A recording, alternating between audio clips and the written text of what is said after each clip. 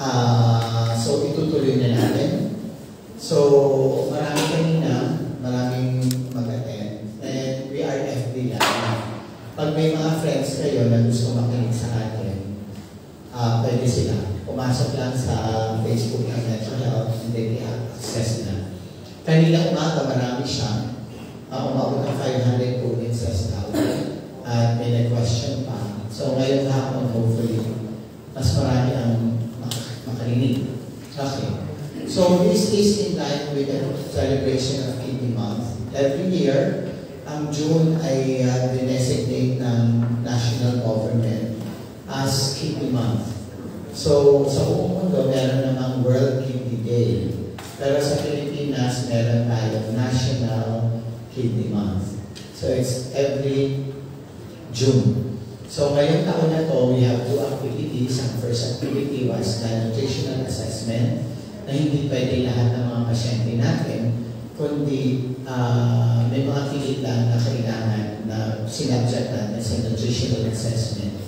Kasama si Ma'am Hainario, no? Hi, Ma'am. Okay. Pero maganda ng katawan niya ngayon.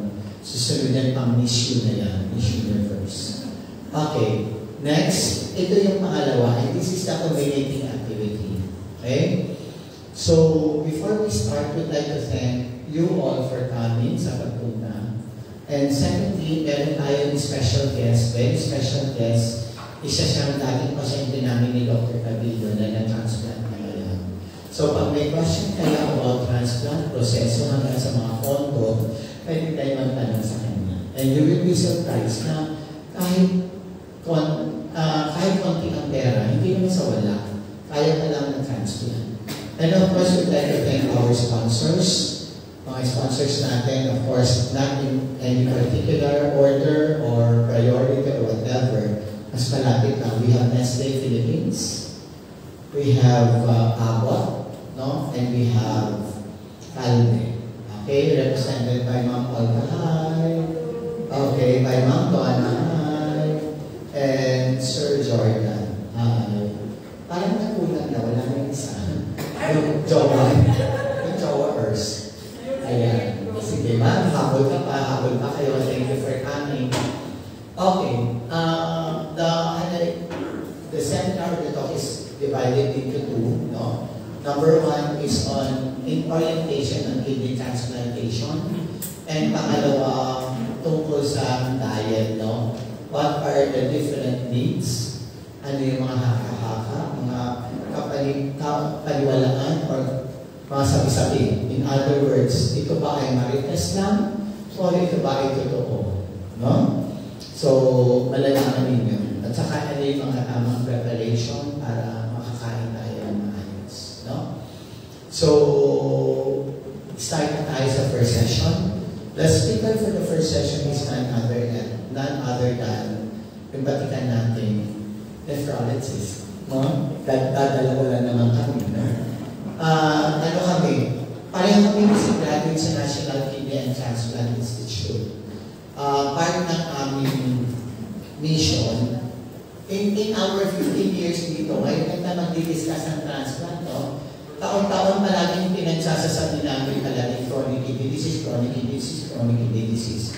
Ngayon, taon na, na to, yung last time, nutrition naman, nutrition, nutrition, nutrition. Kaya lang hindi natin nabibigyan ng emphasis ng transplant. Alam natin na ang transplant, ito talaga ang dapat sa mga pasyenteng may sakit sa bato. Iba-iba ang tawag sa mga pasyenteng may sakit sa bato. ESRD or stage end-stage renal disease or kaya CKD, chronic kidney disease, o kaya kung minsan CRF, chronic renal failure. No? Alam natin na hindi dialysis ang sagot. Nasira ang kidney, palitan ang kidney. So ito ang tamang sagot sa mga renal failure at hindi ang hindi ang dialysis. Mahirap lang kumuha ng donor, mahirap na mag-ipon ng pera para makapag-transplant ka. Hindi pwede kasi kura-kura. So, ang kailangan may preparasyon para maghanap ng donor. Yun ang nagpapalagal. Ano ang role? Ano ang role ng dialysis? Ito yung parang tulay natin, bridge. Bridge going to transplant. Okay, karamihan kasi sa nagsisimula sa dialysis, eh, biglaan, no? Kung hindi ultimatum na, hindi magpapachat na, nagkikita sa dialysis na. Bibihira yung mga pagkakataon sa mga nag-dialysis na nasubaybayan namin. So far sa mga pasyente ko, parang isa, dalawa lang ang napaghandaan talaga ang pag-dialysis at kaya magpa-transplant. Ideally, mas maganda sa unang pagkikita ka lang, konsultasyon, na pag-usapan na ang transplant. Kung kaya, tsaka tayo mag-uusap ng dialysis. Kaya lang dito, at hindi lang naman dito sa Sorsogon, kundi nangyayari sa buong Pilipinas. Alam niyo ba na parang base sa talihan, parang 8,000 na naglalagad ng dialysis taon-taon.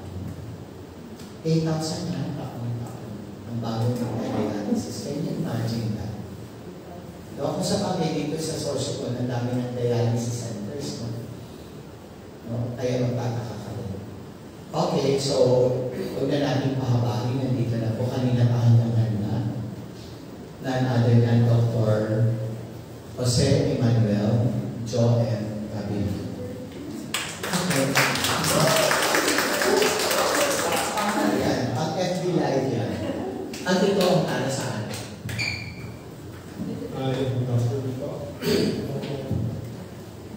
Welcome sa first um, transplant orientation.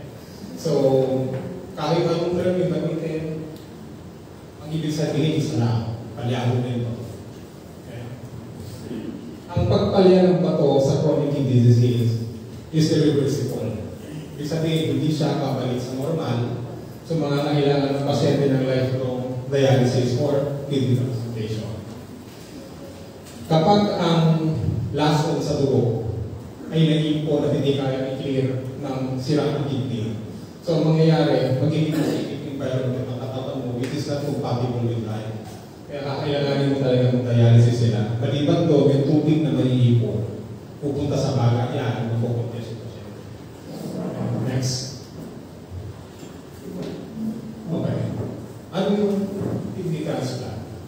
Para din halaman yung galing sa isang ilipan. Sa kidney transplant, kukuha ka ng matino o kaya malusog na kidney sa isang malusog na pasyente. Ililipat mo sa pasyente yung galang chronic kidney disease. So yung, ang importante kasi dito, kaya ako minsan nadidelay yung, yung workup niya, is mas masusi kasi ang workup ng donor side recipient kasi yung recipient mo, hihintay lang naman niya kung may bibigay ng kidney. Kailangan mo prove na yung pasyente mo is malusog. Kasi pag nagkataon, dalawa sila magda-dialysis. So, mas mahirap yan. Next. Okay. Ah, isa pa lang. Yung role ng kidney transplantation, hindi lang yan sa mga pasyente yung nagda-dialysis. Ha?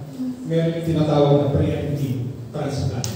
Ibig sabihin, pasyente may chronic kidney failure, pero before pang pag-dialysis, na-transplant sila. So, advantage nung gano'n, wala silang mga chronic effects sa katawan ng chronic dialysis. Hindi nag-iba yung kulay, wala yung mga deposition ng mga mga uh, tawag dito, uh, yung mga bukol-bukol sa katawan. Wala silang mga gano'n. Wala silang effect ng chronic anemia na nagpapahina ng puso nila. So kaya pag na-transplant sila without dialysis, usually yung yung time nila mag-recover mas mabilis.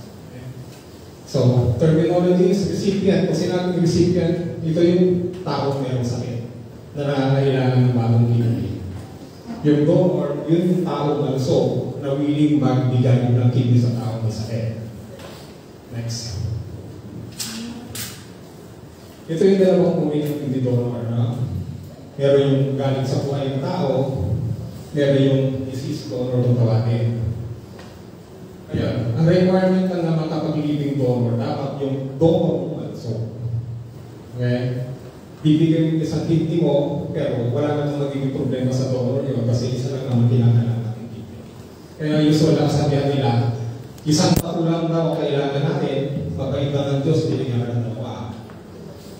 Yung disease donor na tinatawag, hindi naman actually patay. Okay? Sila yung mga tao tinatawag ng brain dead wala nang ibiti yung, yung brain nila, kaya tumitibok yung puso. Okay? Kakailanganin niya ng certification at least dalawang doktor para masabing brain dead yung pasyente before pwede i-harvest yung kidney niya para matransplant sa pasyente ng sakit. Next. Ito yung, ano, ipaka. Malaki kasi yung difference kung yung, kung yung kidney mo galing sa buhay ng tao kumpara kung disease donor yung age ng donor, ay ang optimal na age ng donor, 21 to 60 year old kung living donor. Ang disease donor, kahit ilang taon yun, mas lumas malusog yung pasyente. So, yung workup, ulit 2 to 3 weeks, nagagawa yan sa living donor. Pero kapag disease donor, very tiny pa niya, um, sensitive, so mabilisan ang workup niya. Yung scheduling ng transplant, depende yan sa doktor sa pasyente kung gusto na gawin.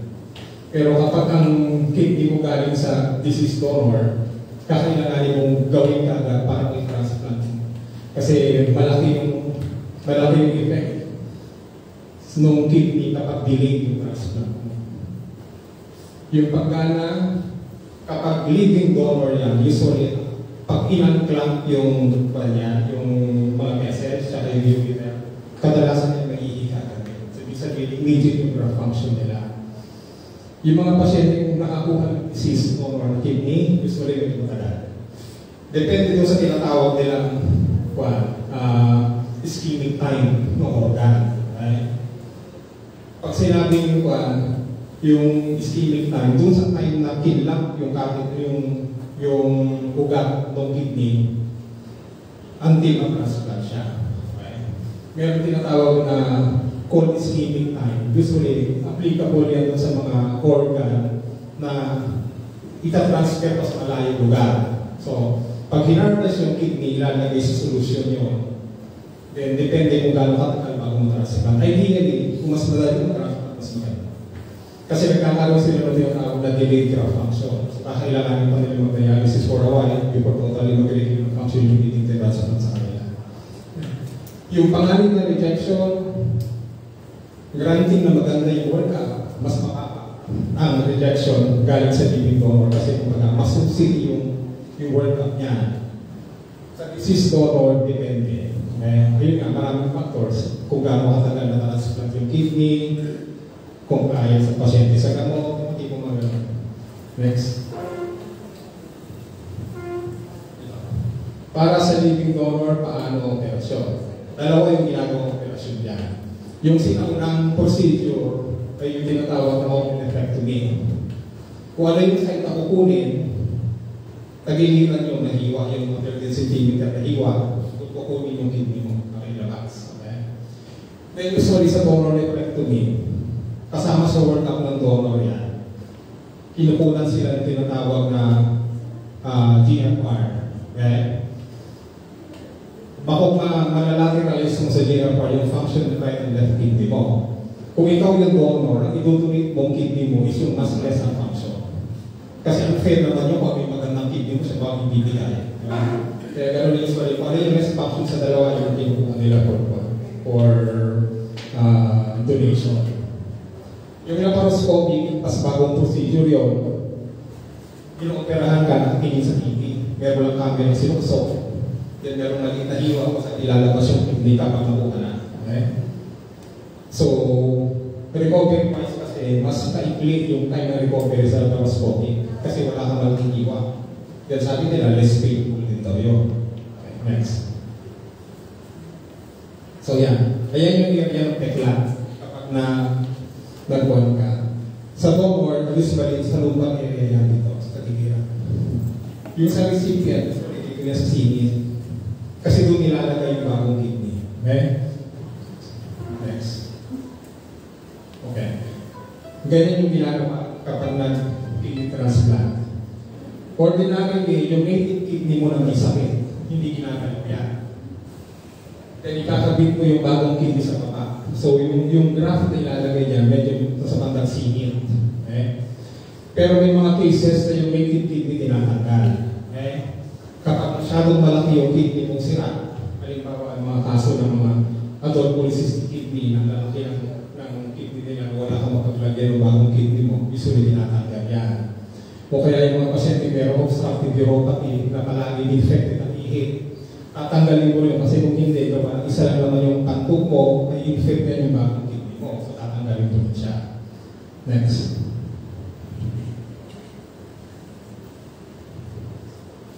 Okay. Sa open nephrectomy, ay meron na lang sugat sa mga donor ko ha. Pero usually, after ng operation, analgesic na naman ang gamot ng pasyente niya. So, 3 to 5 days, pwedeng umuwi yung mga pasyente niya. After mga 6 weeks, pwede na ulit yung trabaho. Okay. Next. Ito. Sa side, ito yung tatanggap ng kidney mo. Matagal din yung proseso niyan kasi unang-una mahirap maghanap ng donor. Pangalawa, syempre yung compatibility ng tissue sa ilalagay sa'yo. Kaya meron mga contraindication nyo para matransplant ang pasyente. Una-una, life-threatening infections, mo pwede transplant yun. Kung merong aktibong cancer yung pasyente, hindi pwede yan. Yung mga unstable na sakit sa puso, hindi pwede yun. Yung mga pasyente hindi sumusunod paggamit ng gamot, hindi siya magandang kandidato, kaya yung mga buntis, hindi siya magandang. Next. Okay. Ito yung pagpili no, ng what? Pagpili ng, ng donor. Primarily dapat yung organ ilalagay mo sa pasyente na uh, is compatible. So ito usually na ginagamit yung typing kung tawagin. Okay? So, ang basic principle nun, ang katawan natin, kung ano yung antigen na wala tayo. Pag sinabi ng antigen, mga protein molecules yan sa surface ng cell na nag-determine ang compatibility ng tissues. Okay? So, ang basic principle, kung wala ka ng antigen na yun, meron kang antibody sa kanya. Okay? So, kung type A ang recipient mo, pwede mo lang gamitin niya is D. Ang B, hindi mo pwede gamitin kasi may antibody against sa B. Yung B, type B yung kulang, kung pwede mong gamitin. Kung type O, kulang pwede mong gamitin. Pag AB, lahat pwede mong gamitin. Okay? Kaya kung titignan niyo doon, napaka-unfair yan sa mga type O na tao. Kasi sila yung tinatawag na universal donor, pero ang pwede nilang tanggapin, yung same type lang nila. Hindi kagaya ng mga type AB, sila yung mga tinatawag na universal acceptor. Lahat pwede nilang tanggapin. Okay? Next. Anong panganib sa living donor? Well, according sa research, very minimal yun. Kaya ano, 0.03 to 0.05% ang danger sa, mga pasyente na dudunit. Yung rate ng complication, masyadong mababa, sa 4% lang. And usually, mga kwan yan, bleeding after ng operation, o kaya infection ng area ng surgical wound, which is hindi rin naman ganun ka-common yan. Kaya usually after na kwan, after ng ng pag-donate ng kidney, dahil wala naman usual na gamot niya, antibiotic yan o milliliter lang, yun ang gamot nila. Next. Okay, ano mga dapat malaman ng living donor pagkatapos ng operasyon? Importante ito, okay? Usually yan, isang araw pa lang, pinapatay mo yung pasyente, pinakalakad na yan. 3 to 5 days, pwede na silang umuwi. Next. Panghabang buhay na precaution, kailangan ilala yung follow nila. Regardless kung may nararamdaman yan wala, mas maganda pa rin ipapalo sila para ma-pick up agad kung mayroong problema. Kasi kung nagtanggal, kung nag-donate ka ng kidney mo, mapapawasan yung kidney function mo na 50%. So yung pagbaba ng creatinine mo, yung pagtaas ng creatinine, expected yun. Pero within 2 weeks yan, usually normal na yan. Then kapag i-ultrasound ng mga pasyente na donate ng kidney, yung remaining kidney yan malaki yan. Kasi magkakwa yan, yung nawalang function ng kidney donate mo, kukunin mo natitirang kidney mo, kaya mga hypertrophy pa yan, lalaki siya. Okay? Importante yung tigil sa paninigarilyo, pag-iwas sa alak, yung mga, mga bisyo, pagkain ng mahala. Kasi pag tinamaan ka ng hypertension, at isa na lang ang kidney mo, mas magiging malaking problema yan later on. Next. Mga gamot kailangan paratingin pagkatapos sa operasyon. Kung donor ka, wala. Kasi usually antibiotic at saka reliever lang yan, then after mo, wala na. Ayan yan, karaniwang side effects. Usually wala naman kung donor ka. Okay, next. Ito. Ito yung, yung transplant workup. Okay? Maraming kinakailangan ipagawa. Kaya usually, ginagawa yan by batches yun. Hindi mo pwedeng isang mo lahat. Kasi unang-una, sa simpleng test ng CBC lang, kung ang pasyente mo anemic, hindi naman pwede mag-donate. Examination ng hepatitis profile, kung positive ang pasyente mo, hindi mo pwede gawin yan. Kaya usually by batches yun, ipapapansin mo dyan, yung mga, yung mga workup na mga mahal, usually na sa ginagawa yan. Yung mga immunochemistry, yung renal imaging studies, mga mahal yan, mga yan. So ginagawa siya kung talagang sure na pwede mong gamitin yung donor mo. Next. Pwede sinasabi kanina ni Dr. na ano mga pwede pagkunan ng mga pagkunan ng ah, pondo. Yung C package, applicable yan sa mga lowest KT. So, ayun yung mga qualification niya. Primary kidney transplant, unang-una ka lang. So, then dapat yung, yung free dialysis mo na sa 44 sessions lang, out of the 144 para maka-appeal ka niya. Dapat hindi ka HPV positive. Kasi nagpapatagal sa workup yung, yung hepatitis status ng pasyente.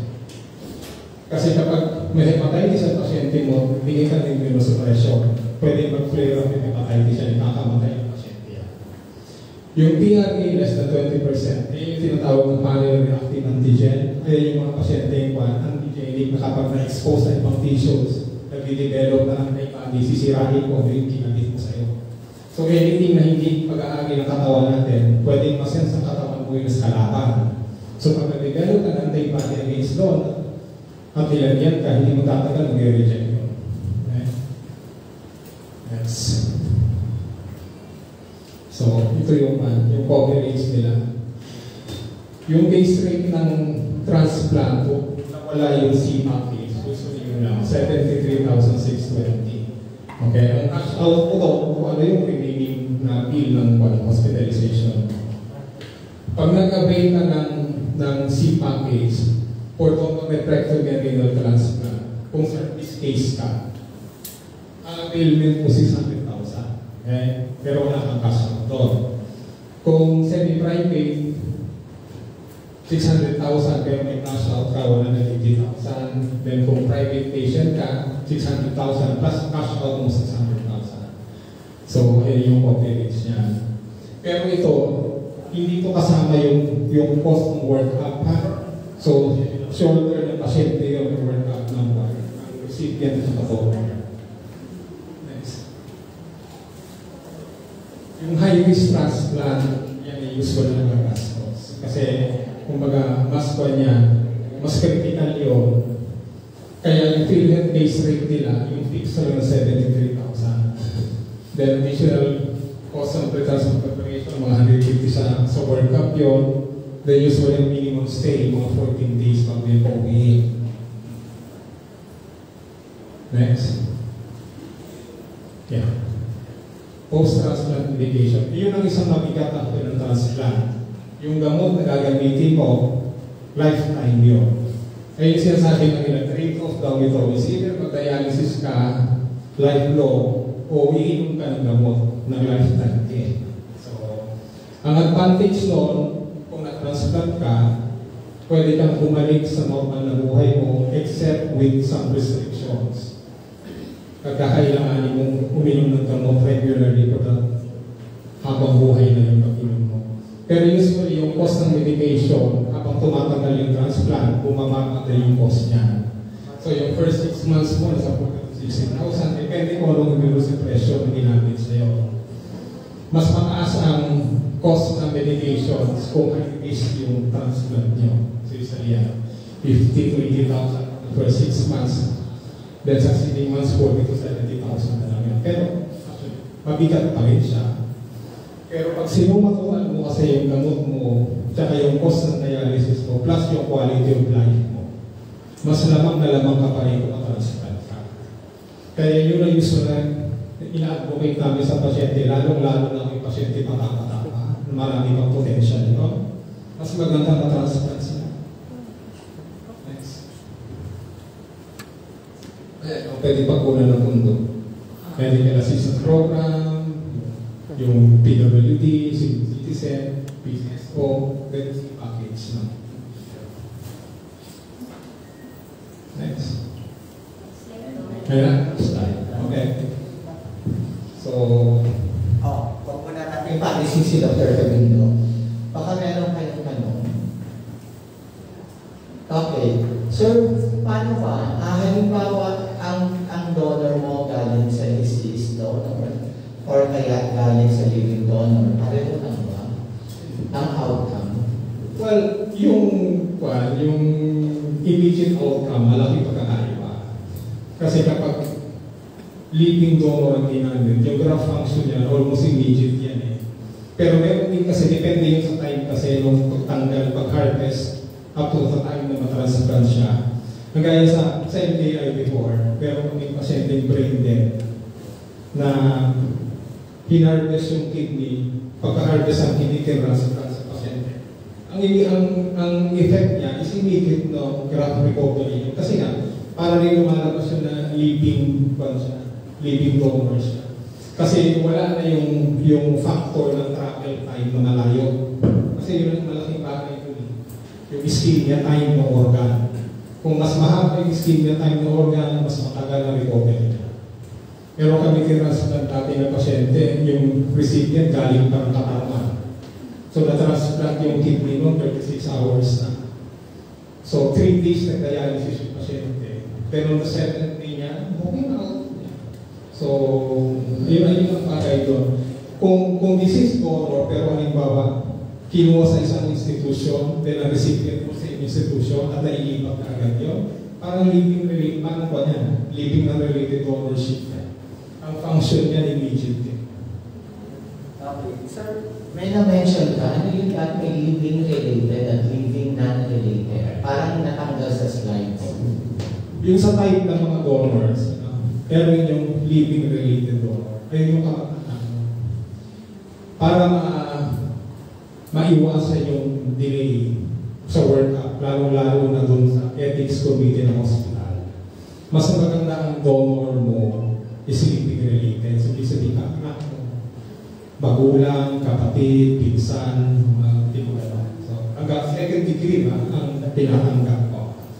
Kasi mas maganda yung chance na yung compatibility mas maganda. So usually ganun na yan. Kung mas maganda ang compatibility ng tissues mo, mas less ang chance na magkakaroon ka na rejection later on. Kaya yun ang, yun ang, yun ang mas maganda. Kung pwede naman kasi simple, bakit gagawin mo komplikado? Pero meron talaga kasi mga pasyente talagang halos wala makuha ng donor. na pati yung mga donor na hindi magandang matching, tinatanggap nila. Pero sa sa panahon kasi ngayon na meron available ng mga gamot na immunosuppression na malalakas, nagagawa niya. Kahit ang pangit dalawa lang ang mas pasyente, ginagawa pa rin nila. Pero kung iba naman, okay naman. Nag- Nag-i-improve pa rin naman yung pasyente. Basta ang importante, mag-transplant yung pasyente mo. Then alaga na lang after mag-transplant. Advantage yun sa mga bata at pasyente. So, mas maganda pa rin ang living related. No? Sa advantages nun, mas mabilis ang workout, mas mura yung transplant, at mas mura yung maintenance medication. No? May mention si Dr. kanina na immediate graft function, delayed graft function. Pag sinabing immediate, yan yung pagka-transplant, ihi agad. Pag delayed graft function, ito yung kuminsan lang kailangan ka ng dialysis mo. May tanong pa ba? Sayang pagkakataon. Yes. Okay. Sir, pag nasalinan daw ng dugo, kumusta naman? Ang issue lang naman sa transfusion, tandaan mo, kapag sasalin tayo ng dugo, yung dugong sinasalin mo, hindi sa iyo yun. Okay. So yung, yung immune system ng katawan mo, pwedeng mag-react sa dugo na yun na mag-develop ng antibody against mo sa dugo na yun. So meron yung mga tinatawag ng preform antibody sa mga pasyente madalas sinasalin ng dugo. So malaki kasi yung chance na merong preform antibody yan na pagka-transplant ka, atakihin mo yung bagong kidney nilagay. Kaya ginagawa yung mga test na yun, yung mga PRA, mga gano'n, mga antibody, mga test, para malaman mo kung meron ka. Kasi may mga additional na gamot na binibigay sa mga pasyente matataas yung tinatawag na PRA para lang maiwasan mo yung acute retention ng kidney kapag nilagay. Kaya usually mga pasyente tinatanong namin kung may malang magpapatransplant. Kasi kung may malang magpapatransplant, mas magandang bibig sila magsabi kung kinakailangan i-maximize yung gamit ng erythropoietin, mag-IV iron, yan ang gagawin. Kasi mas maganda yun. Less yung chance na mag-react sa tissues na ilalagay sila. So, gusto sabihin ng Camilo, pag nagpa-transplant ka, pwede ka makakuha ng antibody. Yung antibody na nakuha mo, pwede yun ang lalaban sa kidney na tinansplant sa'yo. So, pwede ka mag-reject. Pero meron namang antibodies na hindi naman tumatagal sa katawan natin. Kaya, pag recent transfusion ka, hindi ka agad tinatransplant. Kasi pa, bababain muna natin yung antibodies. No? Kaya, kung kuminsan, ah, ilang weeks ba yun, sir? Nag-iintay tayo, ilang months, no? Months. So, kung ready ka na, gusto mo na bukas magpa-transplant, e biglang nasalinang ka ngayon, eh, madidelay pa. Any other questions? Alam na, o comment may maisip kayo, ha? Okay, maraming salamat, sir. Thank you. Okay. Ah, yung. Okay, baka may questions pa kayo mamaya, pwede naman. Nandito naman ako. May katrabaho kasi ng Camilo, may nakapila pa sa pasyente sa baba. Clinic mo, sir, di ba? Okay, maraming salamat, sir. So, ang susunod natin, bless be, ay, pasalamatan natin. Okay, ang susunod natin speaker ay isang very special speaker natin. Nagkataon na meron tayong transplanted ngayon dito sa Recon. Six years na siya ng transplant. Okay, congratulations. Ah, isa siya sa mga pasyente namin noong way back 2016? 15. 15 na isa siyang kasabay. Ay, sorry.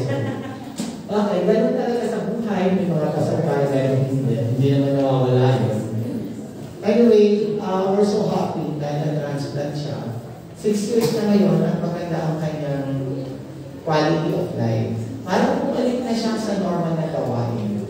Hindi naman namin sinasabi na pag nagka-dialysis ka, abnormal ka, walang gano'n. Hmm, baka makot ako pag nagka-dialysis, abnormal, walang gano'n. Ah, pag nagka-dialysis kasi, meron kang mga activities na hindi karaniwan kailangan gawin nang hindi nagka-dialysis.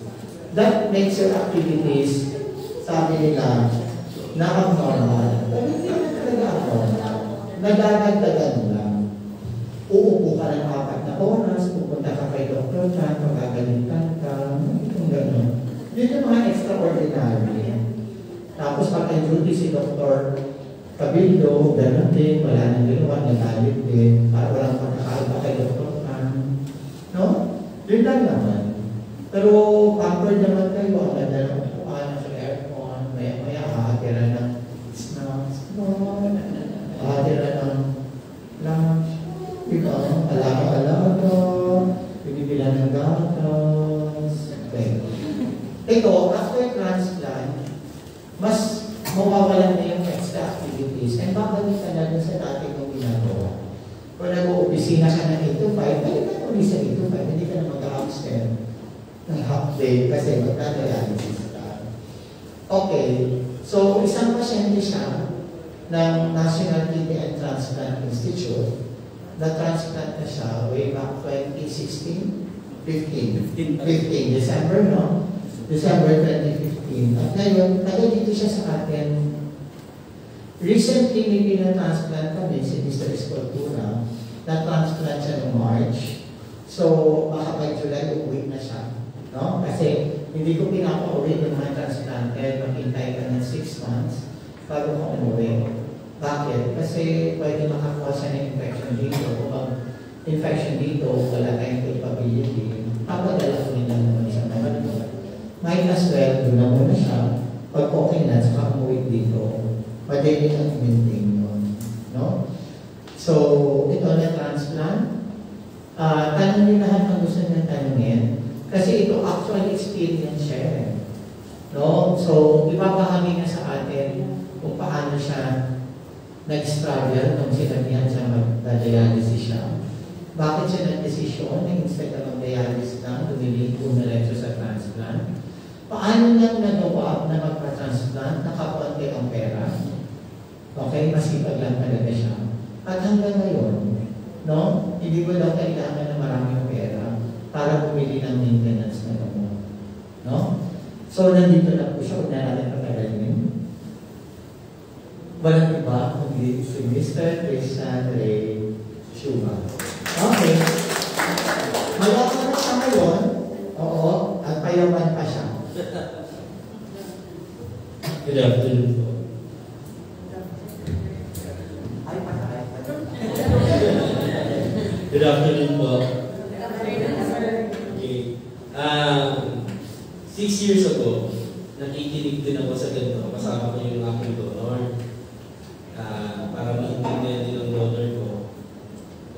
Bakit safe na mag-donate.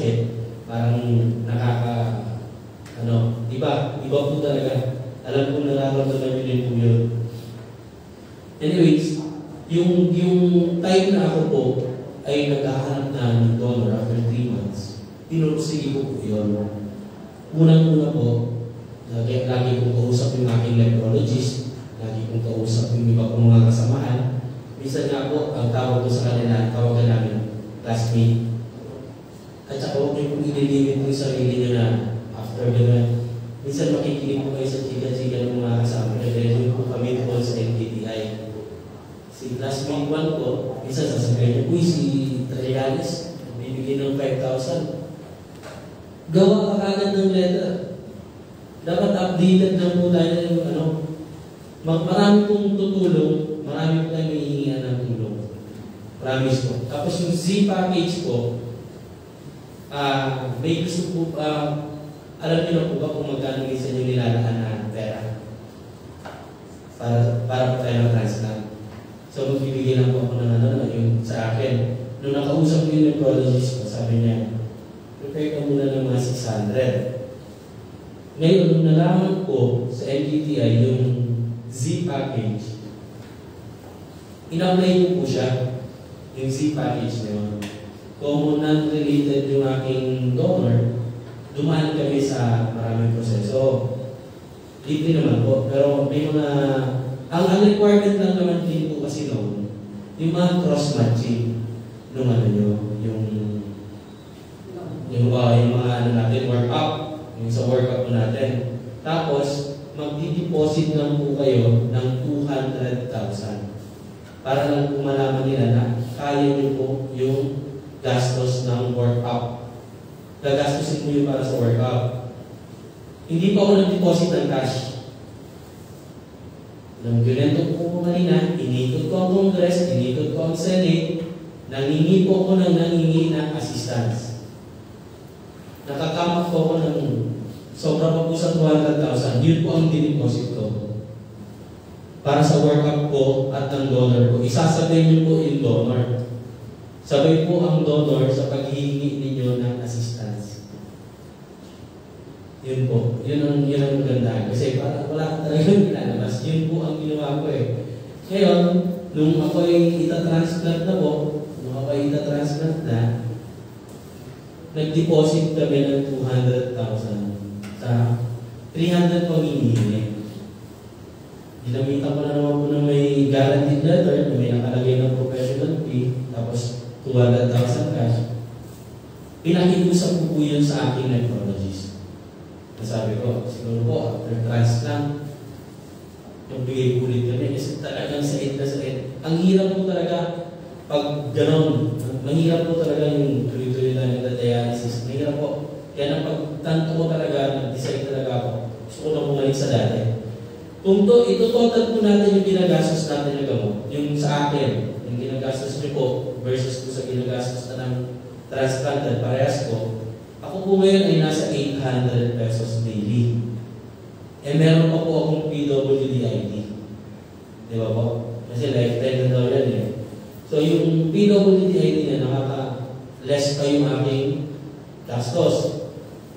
Ang kagandahan po na, na, na medyo tawag na to. Ang kagandahan po na transplanted na talaga tayo, nagagawa ko na po lahat. Ang konting restriction na ay kung ako ay palainom, pala sigarilyo, noon at hindi palainom ng tubig, hindi ko na po siya ginagawa ngayon. Kasi kailangan talagang alisin mo na yun sa sistema mo. Tapos, yung mga takot sa consultation papunta sa doktor, mababago na rin po yun. Kasi talagang tayo po, kailangan natin maging ano, ah ito nga po eh, yung samahan po natin, yung tayo po ng dialysis na magpapatransplant, at saka yung nephrologist, sila na po talaga yung wala, dapat magkakaroon po kayo ng faith sa kanila na sila po ang magpapagaling sa inyo, mag-guide sa inyo papuntang transplant. Kasi yun po ang nangyari sa akin. Ako po, naging pasaway, galing Manila, kung nagkakalap ako ng pondo, sabi ko nga po sa inyo, iniikot ko. Nasa Manila ako, hihingi ako ng pondo dito dahil nandito yung negosyo namin, nahanap ako ng pera. Darating ako gabi. Tapos hihilitan ko si Dr. Tan, kaya ako naging pasaway. Doktor, Dr. Edwin, sabi ko, pwede po po ba ako? Naglilinis na sila ng dialysis machine. Close na talaga sila. Sige, linis na dyan. O, tapos na ba yan? O, isalan mo nga si Chua dyan. O, di ba? Meron tayong ma- mababait na doctor dito. Which is, ang dami ko rin nakausap na na na nila ni Dr. Tan. At yun, iisa lang ang ikaw. Kaya swerte din po kayo na siya po ang ang nephrologist niyo. Tsaka si Dr. Cabigan. May tanong po po kayo tungkol sa ano? Sa yung requirements pala, malalaman niyo po yan pag may kausap na kayong social worker at saka yung secretary ng congressman or senator na nagbibigay ng assistance. May gusto po ba kayong itanong? May tanong, may gusto kayong tanong?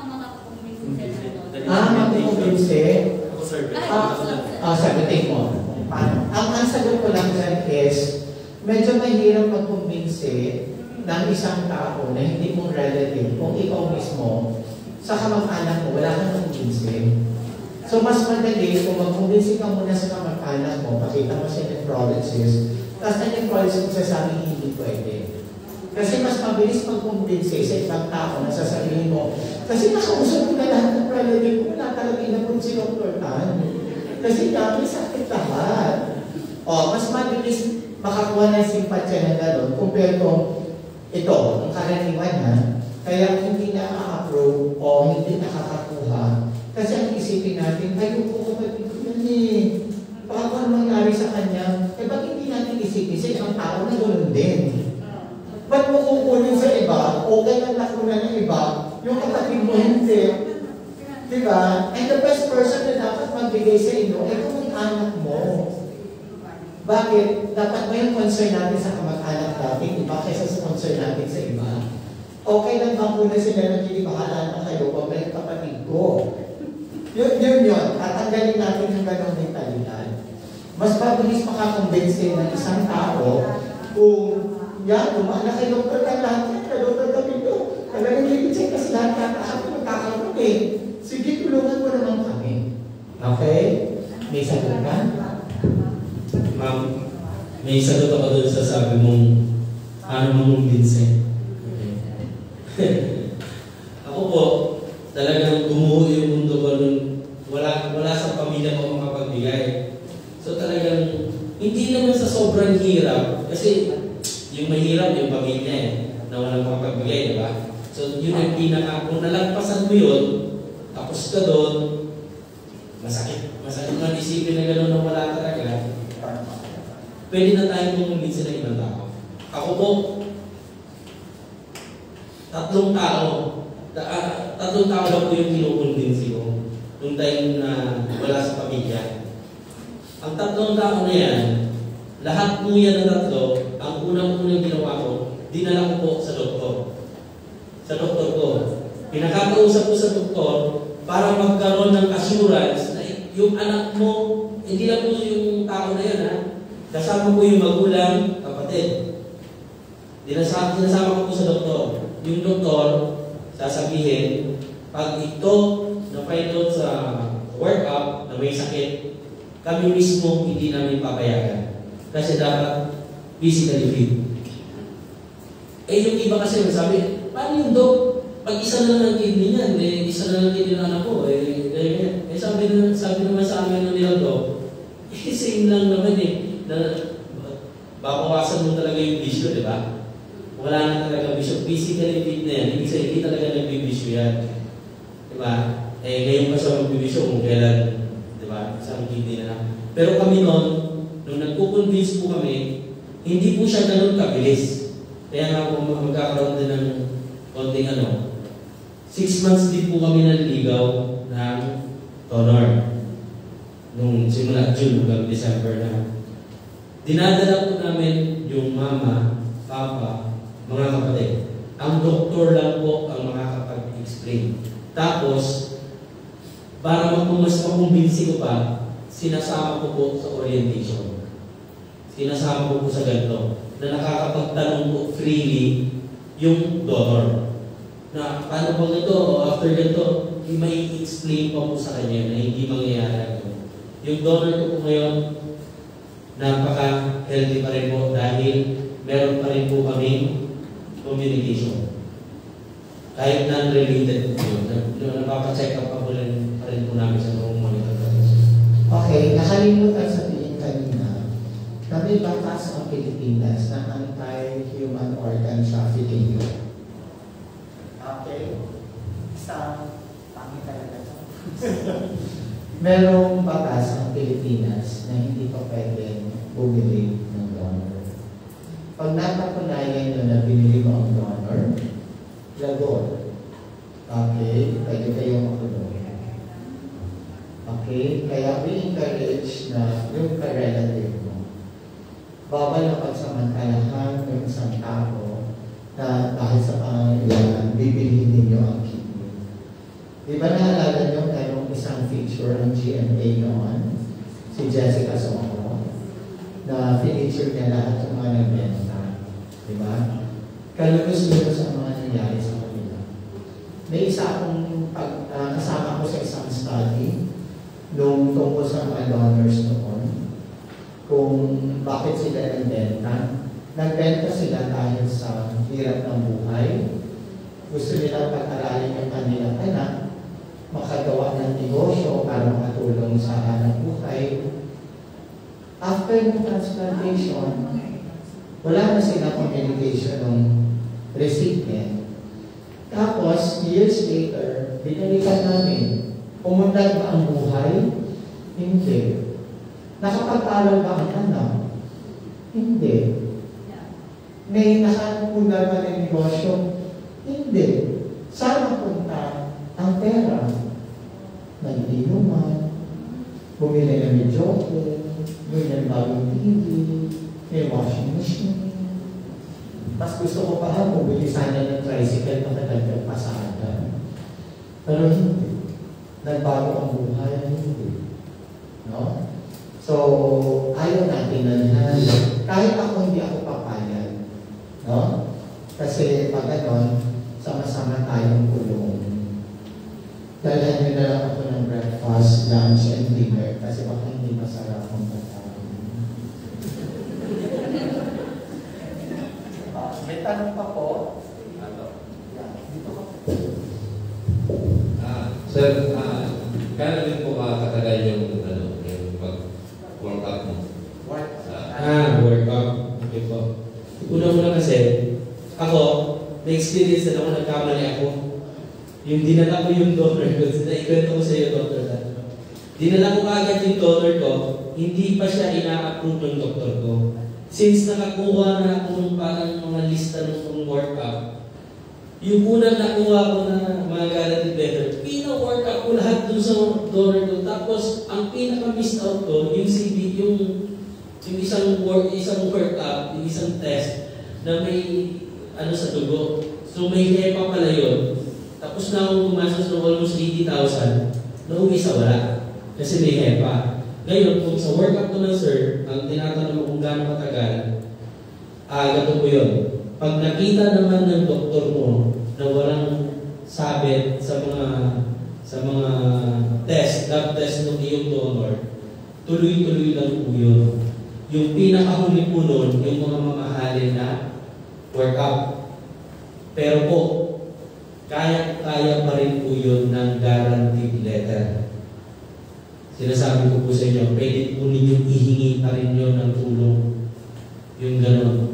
Mas marami po sa ating mahihingan, mas maganda. Kasi talagang magagamit po yun. Kung sa bilis, siguro po sir, ako inabot ako ng hindi naman umabot ng 2 months po. Natapos namin yung workout. Bago po ako i-opera ng December. Natapos namin lahat hanggang dun sa cross matching. Hanggang dun sa pag-GFR yung laki ng kidney na alisin dun sa aking donor. Yun na po. Sa experience ko, Nung nasa National Kidney ako, pinakamabilis kong workout isang linggo. Magkapatid. First day, nakita kami, pumayag, okay, maayos. Binigyan ko ng unang uh, workout na first stage. Pinagawa niya ng Martes. Lumabas ng Martes, nakita kami ng Martes. Okay, good. level 2 tayo, stage 2. Wednesday, pinagawa niya. Nagkita kami ng Wednesday afternoon. Next stage, Thursday. Go. Tapos clearances na. Eh since magkapatid at mga bata pa, mabilis lang. The following week, transplant na yan. Pwede yun. Ganun lang kabilis. Siyempre, alam natin na ang maiulan kasi habang nag-workout ka, gumagastos ka ng workout, nagpa-dialysis ka pa rin. So, ang mas maganda, dire-diretso, kaya dapat may advice kayo gamitin from your nephrologist para guided kayo. Yung pamamaraan namin noon, iba na ngayon. Noon, noon dahan-dahan kami, ngayon hindi. May isang high-tech na muna kami pinapagawa yung cross-matching. Medyo mahal siya, pero yung pinapagawa na namin noon. Pag negative ang cross-match ninyo ng donor, then saka tayo magsisimula sa stage 1. Noong unang panahon kasi, stage 1, stage 2, stage 3 cross-matching. Kaya lang, it turned out ngayong panahon na to, ang dami ng positive sa cross-match. Kasi ang dami rin nasasalingan ng dugo. Pag nasalingan ka ng dugo, pwede mag-positive cross-match. So, nandun ka na sa dulo, cross-match, positive, ay, hindi ka pwede. Hanap ka na naman ng panibago or maghintay ka.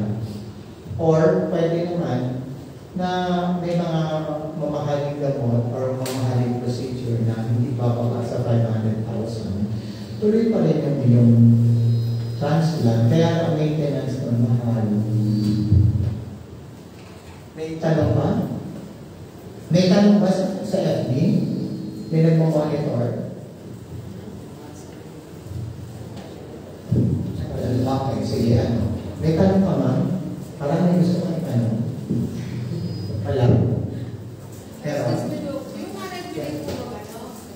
Donor? yes, o, di ba sabi namin, Tato, ang hierarchy, yung pagkakasunod-sunod, ano, ang gusto natin malapit sa dugo mo. So kung halimbawa ako, ang pinakamagandang donor ko is kapatid. Bakit? Kasi ang nanay at tatay, presuming na ang nanay at tatay namin, di isa. Kasi may magkapatid, di ba ang nanay o di ba ang tatay. So ang mas maganda, kapatid. Kasi yung pinanggalingan namin nanay at tatay ay di isa. Okay. Ang susunod doon ay magulang. Kung hindi pa 60 years old and above, yung magulang. Bakit? 50% ang composition ng katawan ko galing sa nanay o tatay ko. So, compatible kami by 50%. Diba? Susunod yan is yung anak. Kasi yung anak, pwede siya, kasi 50% ang composition ng anak mo galing sa iyo. Ang nephew. Pwede. Kaya lang habang lumalayo kasi yan, kumukonte ang compatibility ninyo. Pwede pa rin kayo compatible. Kaya lang, di ba? Pag sinabing nephew, pamangkin mo. So, anak yan ng kapatid mo. So, kayo, 50%, napunta sa nephew mo, 25% na lang.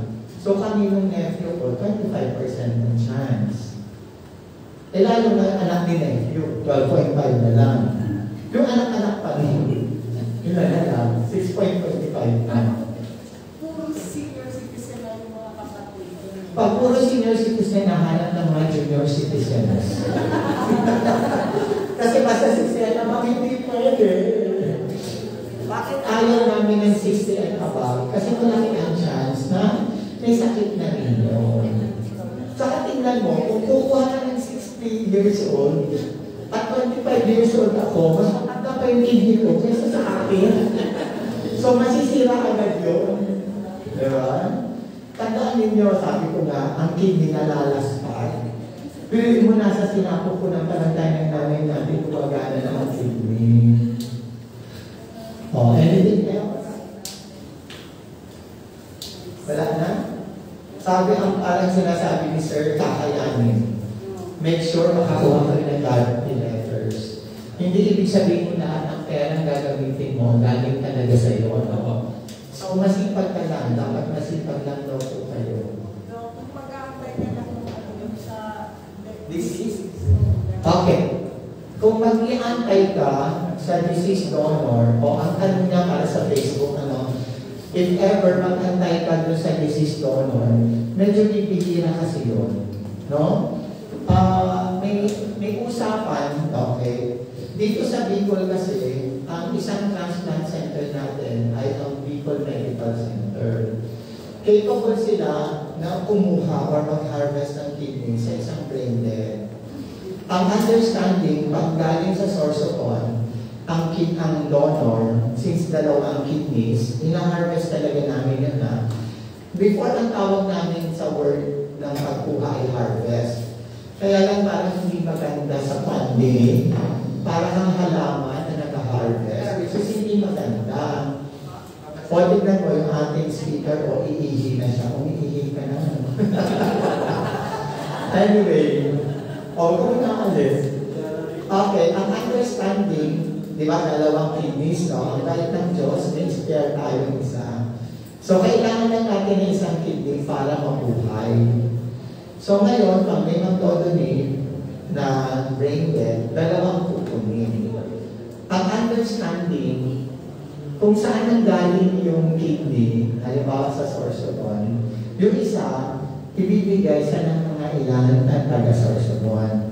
Yung isa, iraraffle kung sino nangangailangan sa buong Pilipinas.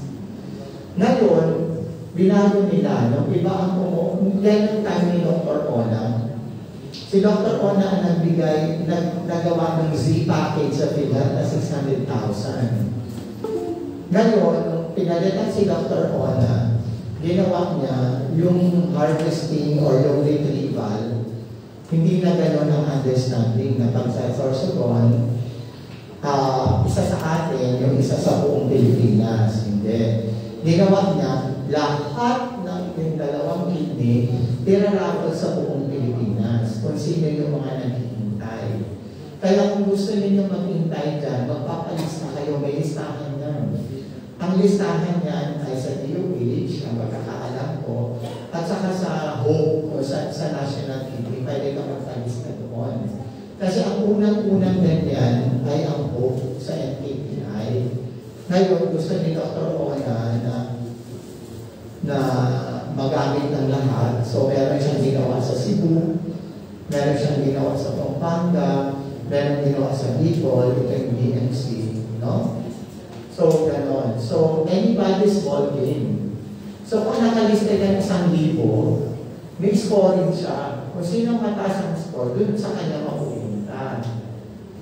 Ngayon, pag tinawagan yung priority tapos kumalaw at hindi handa, pupunta sa pangalawa, pangatlo, pang-apat, lima, pang-anim na. Eh, paano yun? Naghihintay yung kidney na harvest na. Di ba sabi nga ni Dr. Camilo, mas matagal na hindi na transplant yun, mas malaki ang chance ng delayed graft function. Pa-function siya, kailangan hindi immediate. Pareho din lang naman ang outcome mo, ibig sabihin yung mangyayari later on. Kaya lang, mas maganda pa rin yung living. Bakit? Kasi kayo ang nag-facing eh. Pag disease kasi, parang mag-iintay ka, hindi mo alam kailan.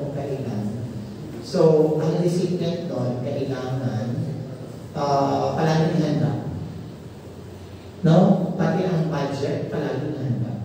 Kasi pwede kang tawagan anytime. O, ready po kayo, o may possible donor dito, galing na Cebu. Punta na po kayo sa ganito, o makita na po tayo, hindi nag-iintay ka. Pwede gano'n. Pero isang option din yan. Kami dalawa ni Dr. Camilo, parte ng training namin yan, na yung mga brain dead, inaalagaan namin siya hanggang sa makakuha kami ng possible recipient. Pag may nakuha na, saka namin kinukuha yung kidney. Hanggat kaya namin. No? Kasi may mga pagkakataon na, naku, pangit na, i-harvest na natin.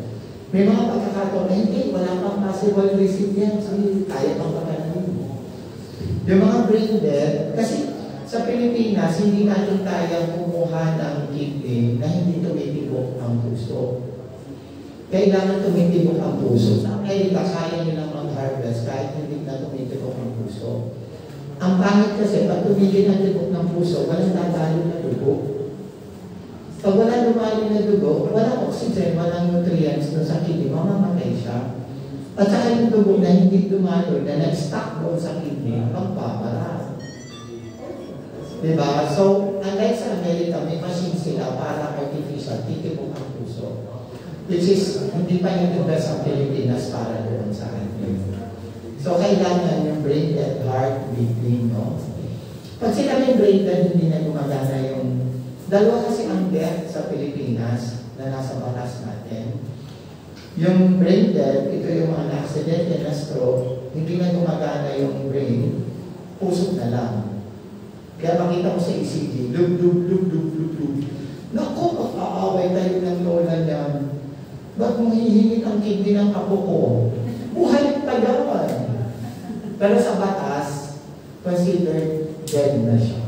Kasi may tinatag na brain death.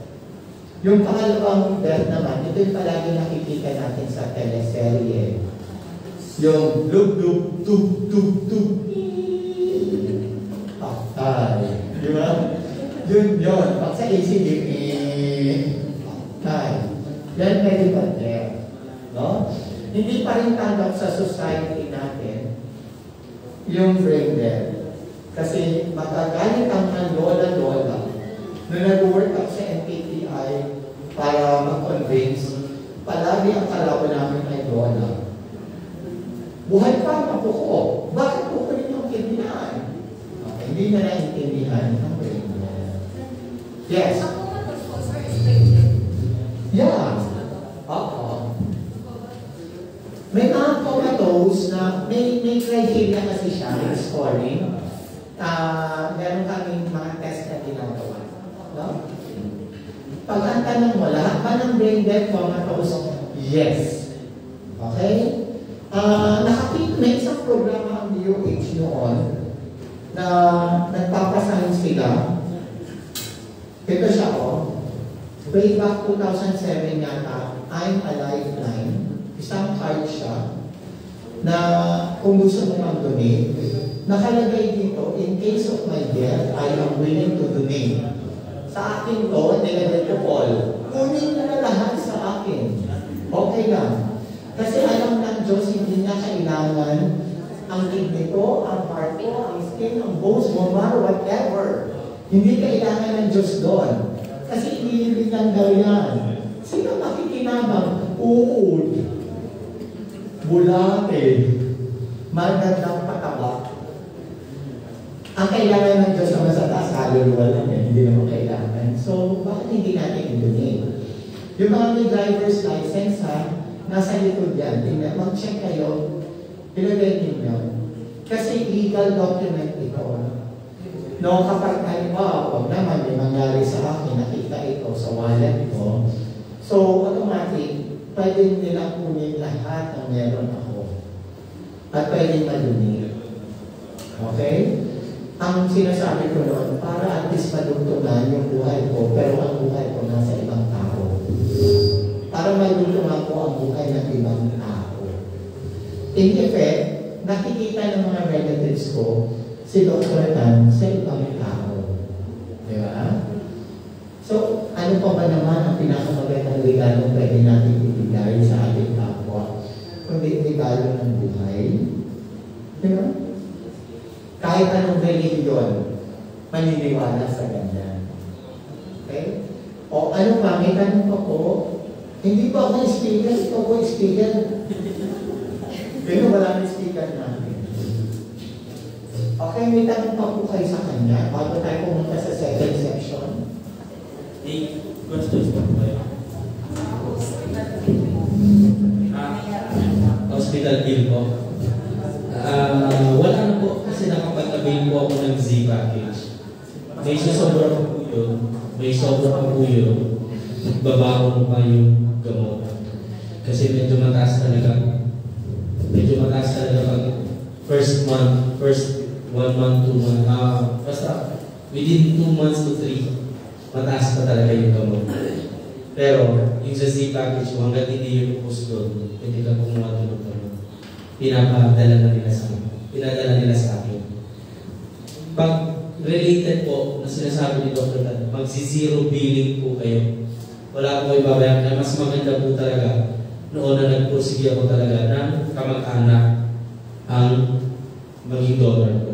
Kasi wala akong babayaran sa ospital.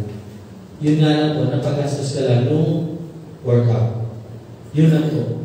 Tsaka sa workout naman, pag related kasi, living related, ang bilis lang po. Yun ang sinasabi ni Dr. Dan, one week tapos ka na. Kasi ang bilis lang nun, alam naman na magmamatch kayo nung donor mo. So wala nang mga dadaanan na ibang, ibang gagastosan. Zero billing po ang living related. Ako naman po, umabot lang yung pinaka binayaran ko sa hospital, 200. Yung idiniposito ko po. Yun lang, wala na po iba. Meron akong question. Ang medicines mo after ng taking. Okay po. Okay, para sa audience natin sa Facebook, ang tanong, ah, kumusta na yung mga medicines ang gastos after transplant? Okay. Yung gastos naman po sa medicines after transplant, unang-una po, ah, yun nga po, aabot ng 50,000 a month to 60. Depende po kasi ako non-related eh. Pag related po, nang naitanong ko po sa ibang kasama ko, mas mababa po talaga. Pag related, halos nasa 20 plus to 30 lang sila. Pero bababa po yung bababa eh. Kasi regular lang yung consultation nyo sa doctor. Tapos tinitingnan nila yung mga laboratory. May schedule po sila nakalaan sa inyo. Paglabas na paglabas nyo lang, after kayo mag-transplant, may schedule na po sila nakalaan kung kailan kayo babalik. At magsasabit po kayo ng inyong laboratory. So doon sila magbabase kung kailangan ng babaan or kailangan i-maintain lang muna. Pero sinasabi ko lang po sa inyo, bababa po siya. Pag naaalagaan nyo ng maayos at tinitake nyo yung gamot nyo religiously, yung wala nang kailangan pa magkita sa inyo na alam mo na eh. O, pag tinitake nyo po talaga yun at sinusunod nyo, wala na po ibang pupunta nyo kung hindi bumaba ng bumaba yung gastos nyo sa gamot. Gaya ko nga po ngayon, 800 less po yung PWD discount, magkano na lang po yun? 32% po yung less nyo, kasi pati ba? Wala. So, mababa na lang po ang daily ko na binabayaran na gamot. Ano pa po ma'am? Ah, yung sinishare namin experience sa National Kidney, ito na, National Kidney Ah, Transplant Sa Institute. yung ano ko pala, yung experience ko sa National Kidney yan kasi doon po ako na transplant. Huwag kayo mag-alala kung may gusto magpa-transplant, i-refer ko din kayo. so, kailangan kinuha ko guest natin galing sa NKTI. Kakayanin, ha? May mga sitwasyon lang na kung saan mga sakit na kailangan kita yun. Tulad ng sa sister mo, lupus kasi siya, may tamang timing for lupus, hindi yung anytime na lang gusto mo. Ah, may sinasabi si Dr. Patito na hindi naman tinatanggal yung dating silang kidney, ano, hindi naman tinatanggal yun. May mga indikasyon lang na kung kailangan like yung malalaki ang kidney, walang paglalagay ng spasyo, or may mga mako kasi panggagaling ng ulit-ulit na UTI. Any other questions? Pwede rin magandang pagkakataon. Sa Facebook pa lang. Ma'am, may idadagdag pa rin po pala ako para doon sa nagtanong sa Facebook Live. Yung gastos po, eh sabi ko nga po sa inyo, maraming paghihinginan talaga ng tulong. Uulit-ulitin ko po ngayon. Kasi 6 years na po ako ng transplant, ipagmamalaki ko po sa inyo na hanggang ngayon hindi po ako bumibili ng gamot lagi. Libre pa rin po sa hingi ko ng tulong. Siyempre naman po, after nyo siyempre makahingi ng tulong, transplant, ano naman po yung sasabihin ko lang sa inyo, no? magbibigay pa rin kayo ng letter na magpapasalamat pa rin kayo kung sino man yung nahingi nyo ng tulong. Para at least, the next time may hihingi ka, mabibigyan ka pa rin po. Hanggang ngayon po, libre po yung gamot po. Hinihingi mo lang din po. May timing lang yan, di ba? Halimbawa kay congressman ngayon, humingi ka after 3 months, saka naman hihingi ulit. Eh, ang dami mga congressman. Eh marami. Eh marami sila, di ba po? So, pwedeng Is, isa pa yung pa yung party list, di ba? Opo. O sa dami, 200 plus yata yan eh. Nga po, Gawa ka yung schedule. Ako po ng taga Bicol. Sa totoo lang, hindi ako nakihingi ako Bicol. Sa, sa dinami-dami, hindi ako Bicol ako hindi nakahingi talaga. Pero sa sobrang dami po talaga, sabi ko sa inyo, talagang gagaan po yung financial ano. Kasi talagang marami kayong nahihingihan.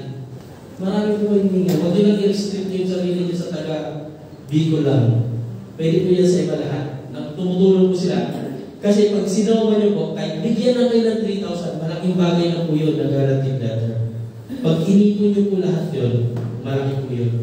Tapos, after 3 months, gano'n ulit, i-update nyo lang yung yung request ni doctor, i-update nyo lang yung inyong medical abstract. Yun lang po. Kailangan yung kaibigan dyan, Xerox machine. Kasi kung 200 yung congressman, 200 lang abstract. Diba? Pero schedule nyo ha. Huwag naman kami mahirapan. No? Ngayon yata to, yung experience ng kapatid ko. Yung kapatid ko po, kakatransplant lang din. Yung sumunod sa akin to, kakatransplant lang din. Kasi sabi ko na rin yung naging experience niya, mas magaan kaysa po sa akin. Kasi po, ah, sinundan niya lang yung lahat ng ginawa ko. Kung sino lahat ng sinusulatan ko, yun na rin yung pinasusulatan ko sa kanila. So, ang dami pong pwede. Ang dami po talagang pwede makatulong. Ah, kung Willing naman siya, kunin nyo ang number niya para pwede kayong tulungan niya. Sinabi mo kanina kung okay, di ba? Opo. Okay. Sabi ko na kung may mga itatanong na kayo regarding sa pagtulong na gano'n, willing po ako na tumulong din, i-share din po sa inyo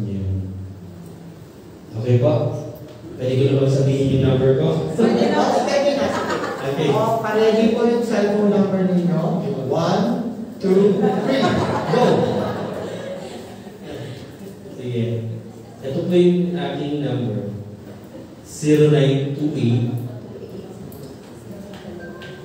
9955 Yung isasagot ko lang po yung mga may itutulong na pagdating sa ano, kay Dr. Tanya. Ah, zero, ulitin ko lang, 0928 9955 878. O, pag ano, pag may emergency kayo, siya i-text niyo wag po kami. Hingal na hingal ka siya po ang tawagan. Kaya, yung sa ano lang ako, sa tulong lang ako ng financial na pwedeng tumulong sa atin ng mga congressman, senator. Tapos po, ano, mas tipid kayo ngayon sa photocopy kasi nag-i-email na lang ngayon. Susulat na lang kasi Ayun naman pala, email na lang eh. Electronic na lang. Opo. So, hindi nyo na best friend ang Xerox.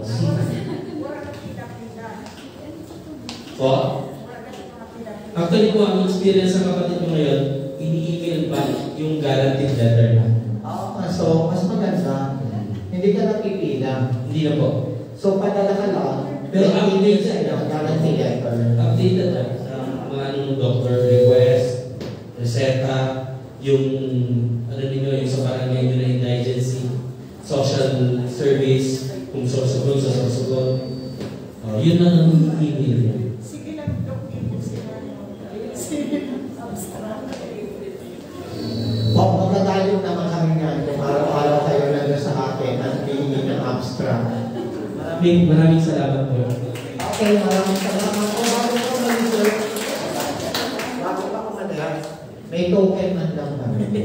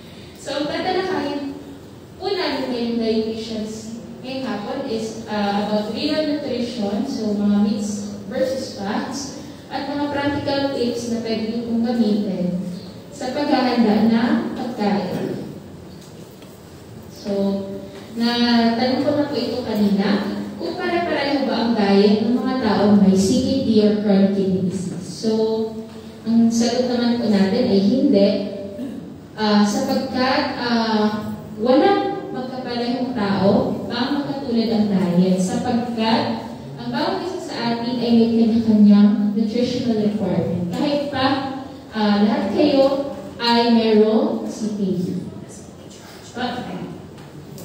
Next, ito. So, kapag daw ba ang hindi pa nagdadialysis, kailangan ng mas kaunting protina or protein sa kanyang diet kumpara sa taong nagdadialysis na. Ano nga po ulit ang sagot natin kanina?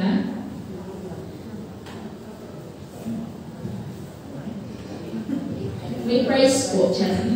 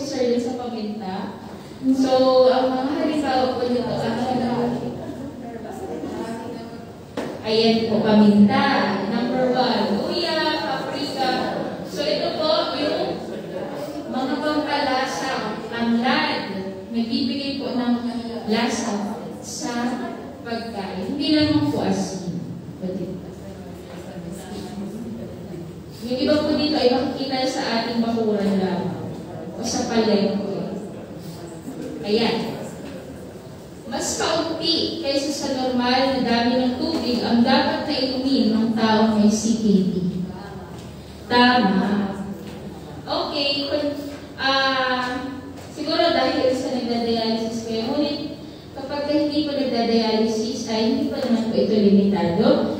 At yung recommendation po ng ang dami ng tubig ay nakadepende po sa pag-uusap ninyo ng inyong doktor.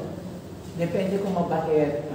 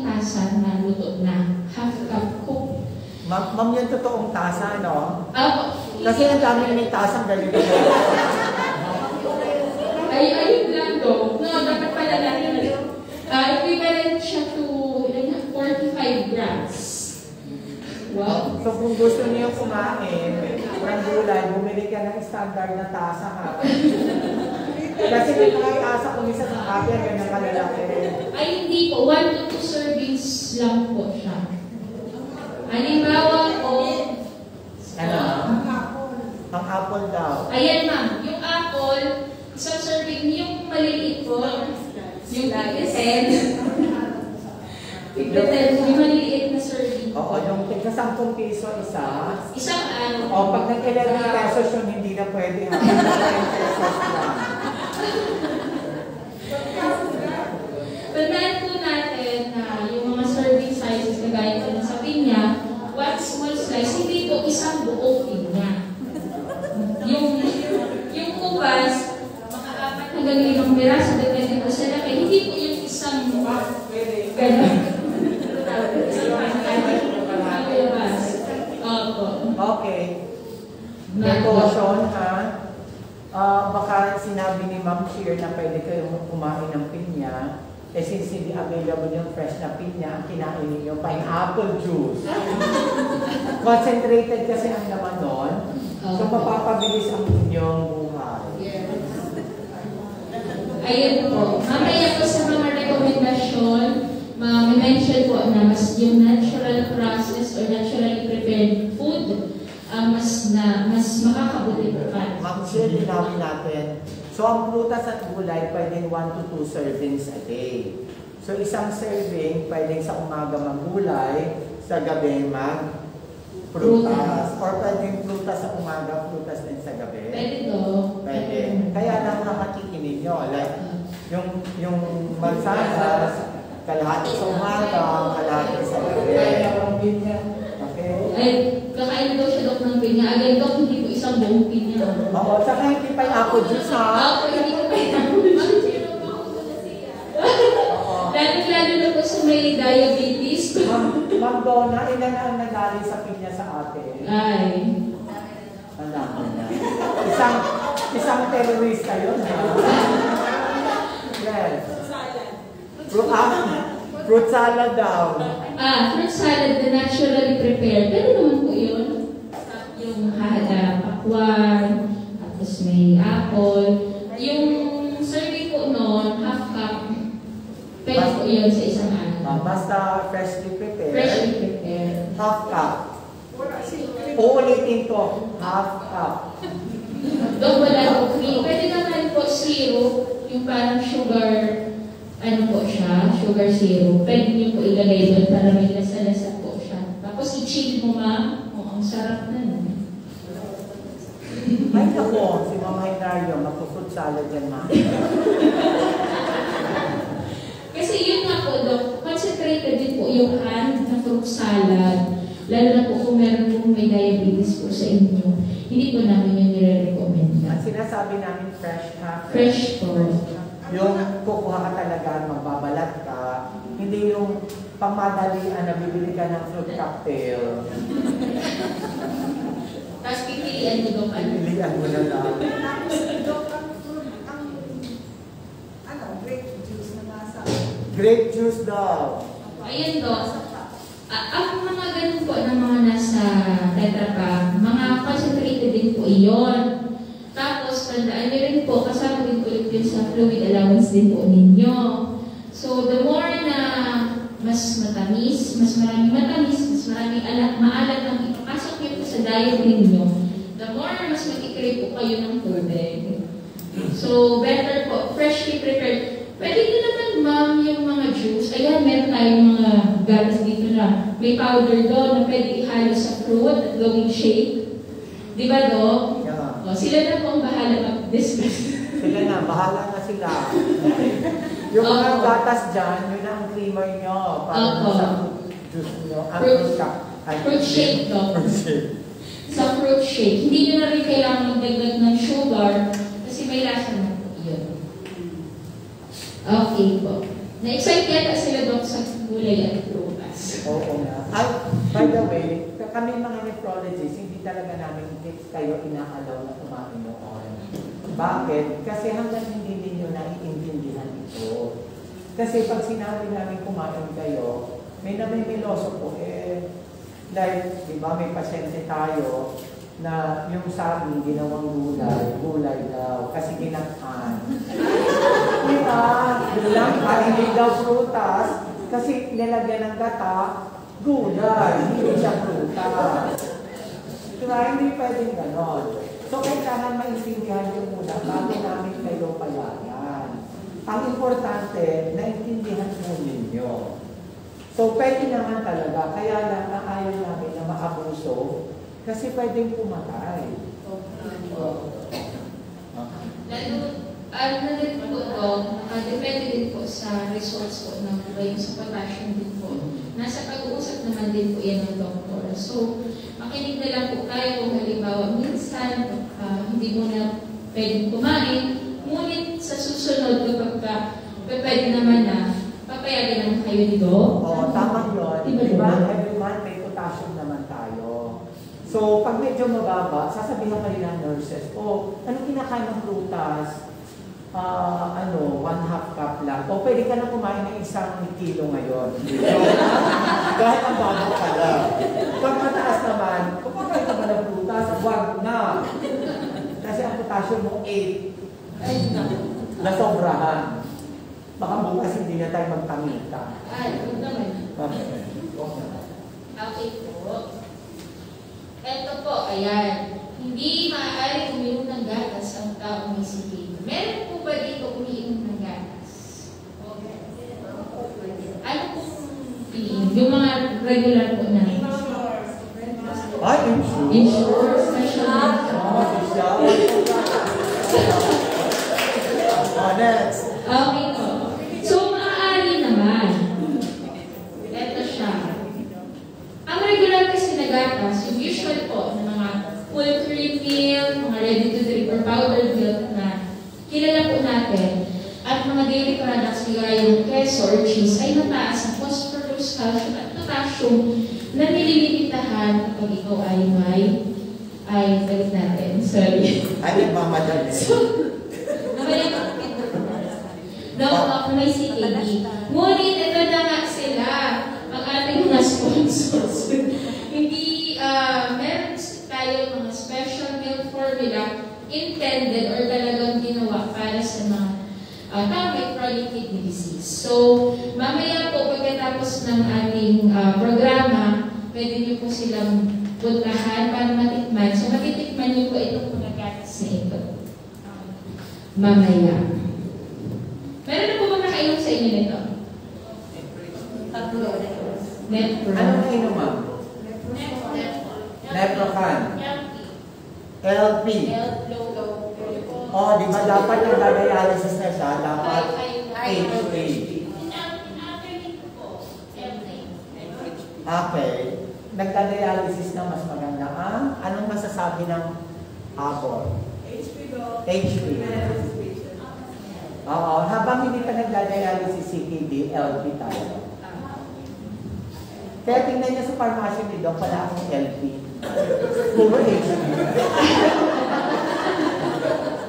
Kasi gusto ko lahat mag-dialysis. Ayun po, uh, first part po ng discussion ko. Uh, yung mga tanong i-entertain po namin mamaya pagkatapos. Ang susunod po na part is about mga practical tips sa pagluto, kapag wala kayong ganong kumain, ano ang mga dapat gawin, bumaba ang inyong timbang. So, ah, next speaker po yung ating kasama, nutritionist dietitian din po, ah, Ms. Frederiel Fernandez. Thank you, Ma'am Chair.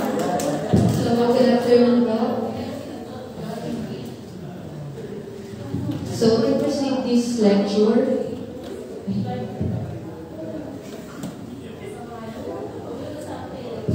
So, mga dapat kainin bago at pagkatapos ng dialysis. So, may mga halimbawa tayo na pagkain na pwedeng i-recommenda sa mga taong nagda-dialysis or may CKD. So, complete meal course, breakfast, lunch, and dinner. Uh, two hours before dialysis. Then the next, snack after treatment. Uh, nire-recommenda po dito is yung mga salt-free popcorn pretzels or unsalted crackers, fresh berries, or kung hindi man po available, pwedeng grapes, or other sources po na mababa, mababa po sa phosphorus at Ah, apat na grades lang ha, apat lang ha. Opo, mga 4 pieces lang po ng grapes. Depende pi- pero yung sa laki kasi may mga grapes na maliliit at malalaki. Opo. Then hard-boiled egg instead of fried. Then graham or crackers, yun nga po, yung mga unsalted lang po. Next, ano ang maaari kong gawin upang ganahan kumain at hindi bumaba ng gusto ang aking timbang? So, cooking and eating tips. Number one, kumain kahit hindi nagugutom. Mas mainam na may sundin na meal schedule. For example, for breakfast, nag-start tayo ng 7 a.m. For AM snack, 10 a.m. For lunch, 12 noon. Then, followed by PM snack, 3 p.m. and supper, 6 p.m. So, wag po tayong mag-skip ng meal kasi more na mag-skip tayo ng meal, for example, uh, hindi tayo mag-breakfast, ah, mas marami yung makakain natin ng lunch. So, hindi natin nasusunod yung uh, meal schedule. The next, kumain ng apat o anim na beses sa isang araw. Mas nakakagana kumain ang malalamig na pagkain or yung mga chilled foods like samples, salads, or sandwiches. Ang mga homemade na sandwich yung po or spreads ay maaaring ilagay muna sa refrigerator bago i- ikalaman sa tinapay. Then, gawing kaaya-aya ang food presentation sa pamamagitan ng paglagay ng simpleng garnish o decoration upang mabigyang kulay ang pinggan. So, yun po, mas ma- maganda siguro kung presentable or blessing po siya sa uh, paningin kung, at kung ito'y kukonsume natin. Then, ibabad o i-marinate ang karne, isda o manok sa pamamagitan ng pag-rub ng herbs at spices bago lutuin. May mga samples ng herbs at spices na na-mention po ni Ma'am Chia kanina po. Then, kumain ng high-protein foods bago ang ibang pagkain. Then next, cooking and eating tips. Uh, huwag magmadaling kumain upang hindi ka mabusog, mabusog ka agad. Kung pakiramdam mo ay busog ka na, tumigil ng kahit limang minuto at subukang kumain muli. Kumbaga, gradual lang. Ano. Then, kuyain mabuti ang pagkain. Pero sa mga pasyente ko or yung nahihirapan kong lumunok or kumain, pwede natin i-chop into pieces para mas madali po siyang ma-consume. Yung, Then- yung mga walang ngipin, magpapustuso ha. Hirap kumain ng walang ngipin. Okay. Then, iwasan po yung mga high-fat, fried foods, at packaging na babad sa sauces dahil mataas po siya sa sodium content. Then, huwag uminom habang kumakain kasi pag um- uminom ka between meals, uh, pakiramdam mo busog ka na. So, uminom sa pagitan ng meal periods.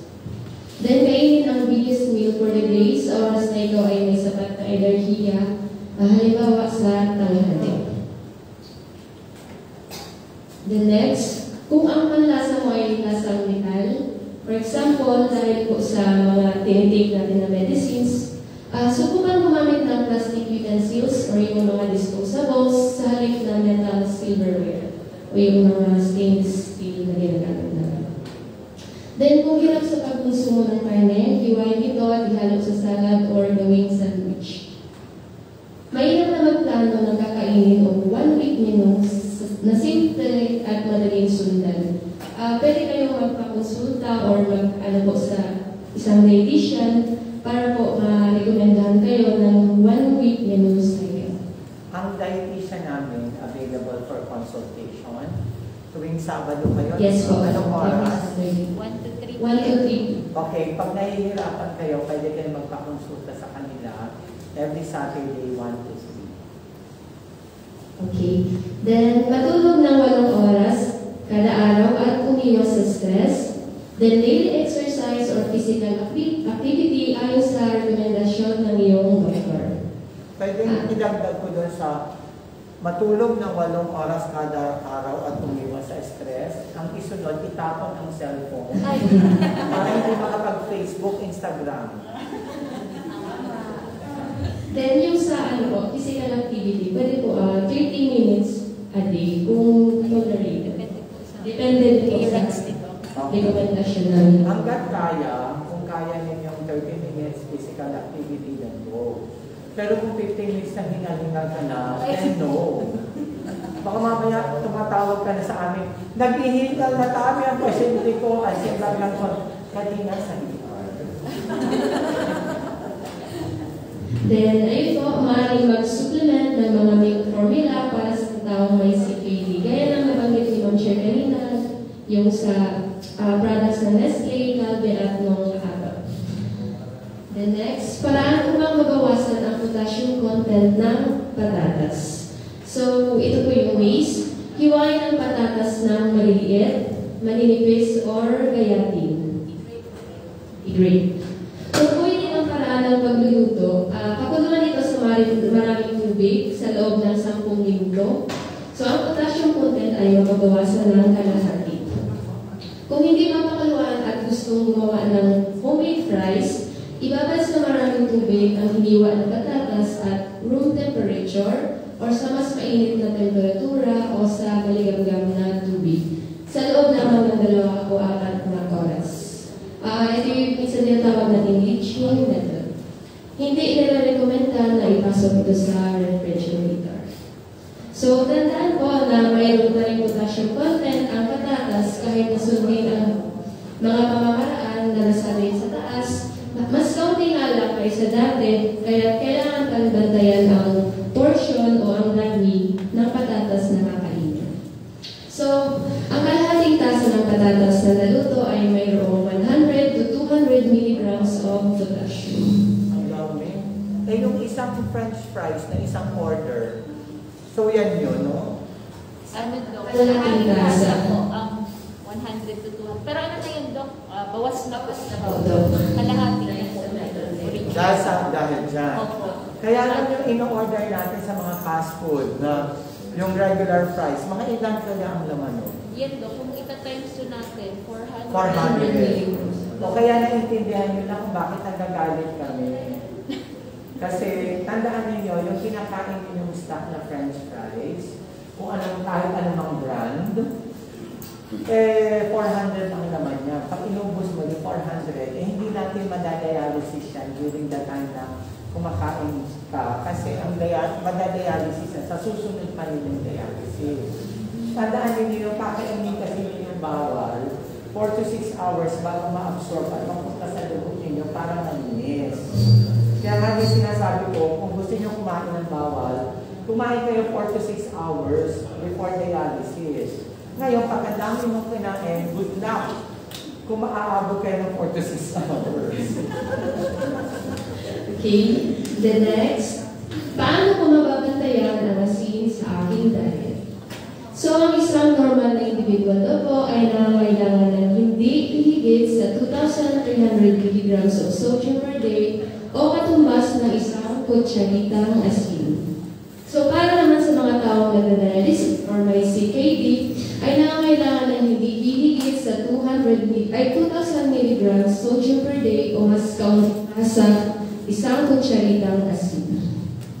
So, ang mga pagkain ay may tinatawag na inherent salt or natural na asin sa kanyang composition. Kumbaga, ito yung mga pagkain na ah, wala pa siyang ano, wala pa siyang, hindi pa siya salt or sodium. meron na siyang sodium content na natural na mismo. Lalo na dito sa Sorsogon kasi paligo tayo ng Dagat.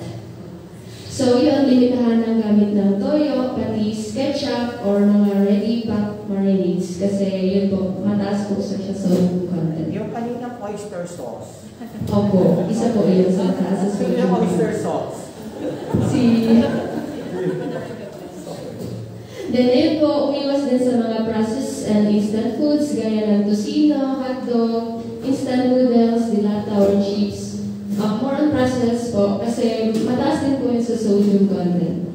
Then mas makakontrol ang dami ng asin sa diet or dieta kung sa natural na paraan ng pagluluto ng pagkain ang gagawin.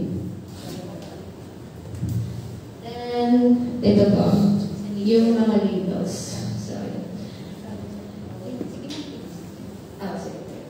Ah, explain ko lang din po pala yung sa, sa sodium content. So, pag sinabi natin low salt, ibig sabihin na limited lang po yung salt na gagamitin. Pag no salt naman, talagang no salt added during processing. Then dito po sa sodium-free or salt-free, ah, less than 5 milligrams of sodium na po per serving. Then meron din po very low sodium, ah, less than 35 milligrams. Yung low sodium, ah, less than 140 lang. Ah, mas lang din po siguro kung check the labels din po ng mga pagkain. Then, kung magluluto po kayo or prepare, check nyo din po kung ilan yung gagamitin. Ah, mas mainam siguro kung may mga ano po kayo, measuring cups or yung nakapaano na po isang ano siya, set. May teaspoon, may measuring cup na 1 cup, 1 half, 1 fourth. Yan po. So sinasuggest mo ma'am na pag mag-grocery sila, titingnan nyo yung label. Yes po, no? Pag nakita nyo yung less than 140, ay low sodium. Kaya tingnan nyo yung mga chichirya na low sodium, tingnan mo pag less than 140. Pag more than 140, ay hindi siya true.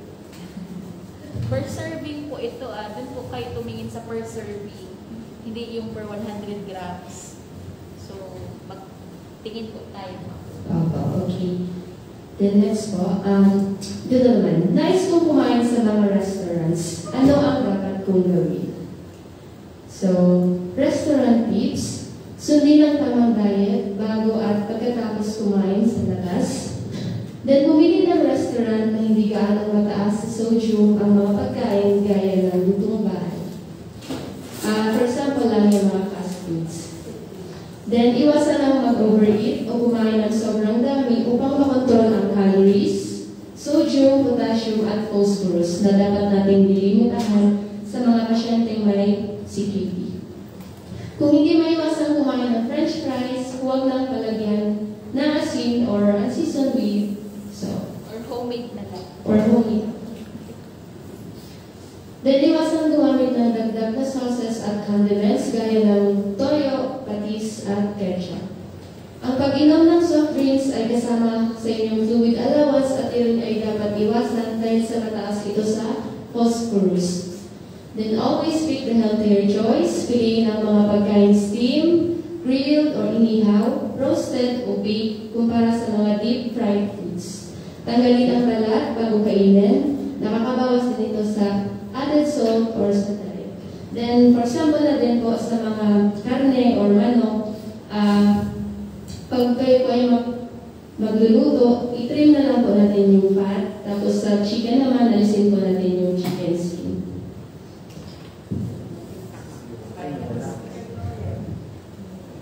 So pag magluluto ng chicken, tanggalin nyo na yun. Yung Tapos yung balat, ipunin ninyo, lagay nyo sa freezer. Pag marami na siya, chicharon ninyo masarap. Di ba? Masarap, di ba?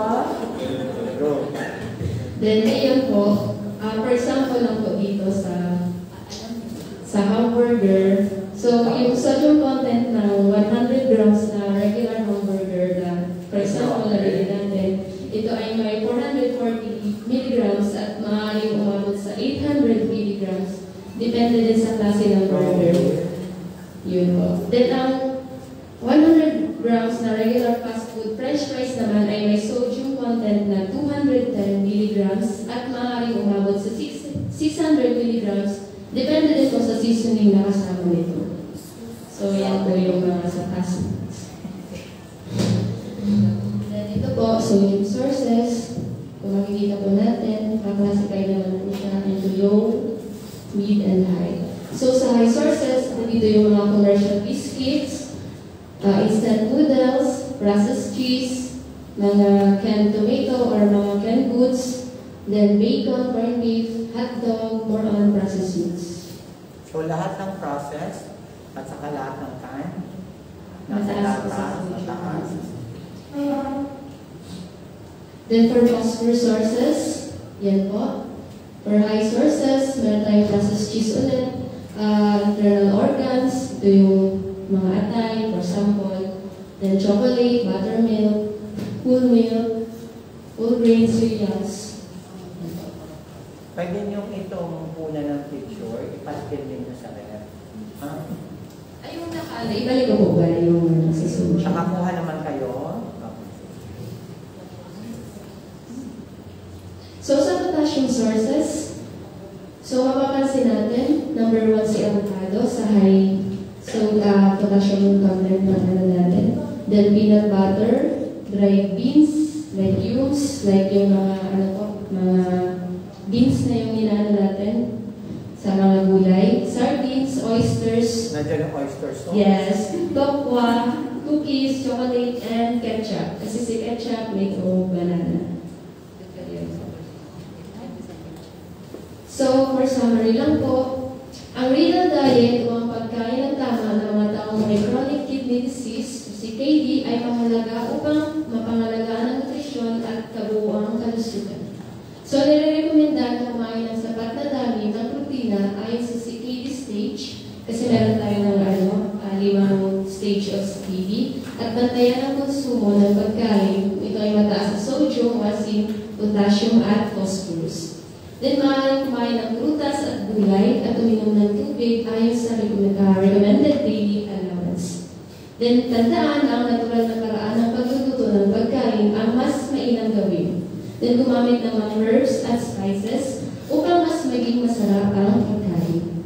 Then, mayroong mga special meal formula na maaaring inumin ah, sa taong may CKD. At gaya nga ng nabanggit, walang magkaparehong tao ang magkatulad ang diet o ang pagkain. Kaya mahalaga na magpakonsulta sa doktor at makipag-ugnayan sa isang registered dietitian. Sabado, 1 to 3. At Saturday, 1 to 3. Ano schedule? So yun po, maraming salamat po sa pakikinig. Maraming salamat. Meron pa po bang mga katanungan?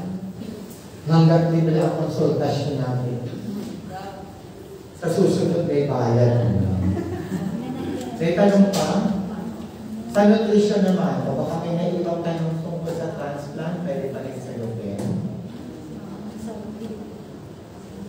Marvel, may tanong pa? Okay. So as much as possible, kung pwedeng maiwasan during dialysis, ang pagpakain sa mga pasyente natin na galing sa fast food, much better. Diba sinabi, bawal yung high fat, yung mga pagkain niluto sa langis. Which is lahat ng sa fast food usually, niluto sa langis. Ang hindi na niluluto sa langis nila ay ang soft drinks, pineapple juice, at ice cream. The rest galing sa langis, kundi mo nga ang Sunday, may langis. Wala tayong minimension. Kung ano man. Okay? Sabi, mas maganda kung hindi nakapagluto, kumain sa restaurant na luto bahay. Ang example niyan ay, huwag na natin sabihin. Okay, anything else? Wala na. Sige, pakainin natin sila. May pakain mo. Ay, so, di ba po kayo na yung prices kanina? Mag, na number generator lang po ako. Dinamberan ko po yung attendance sheet. Tapos pipili po ako ng apat. Ay, si ma'am, hindi nakasulat. May hindi pa po nakasulat. Ah, kahit pala. Nakasulat-sulat na po, more chances of winning kasi yung kotse nandyan. Ayun, kahit house in love. Sayang ang house in love. Kaya rin house in love, kondo lang. Walang love. Free transplant po. Oh, pero free transplant. Gagamitin sa CPAC. Gagamitin ko lang. May dollar ka na mga. Siya, ikaw. Pwede mag-work up na tayo ngayon. Sige, ma'am.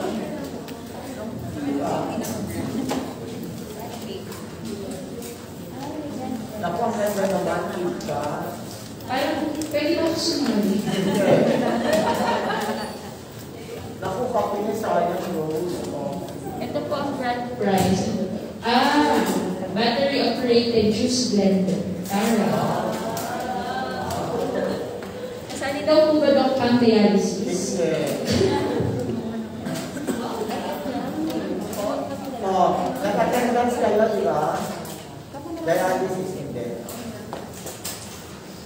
O, hindi pa nakano, bro. O, baka may katanungan pa po kayo. Ang hirap ang salita. Sino? Yes, ma'am.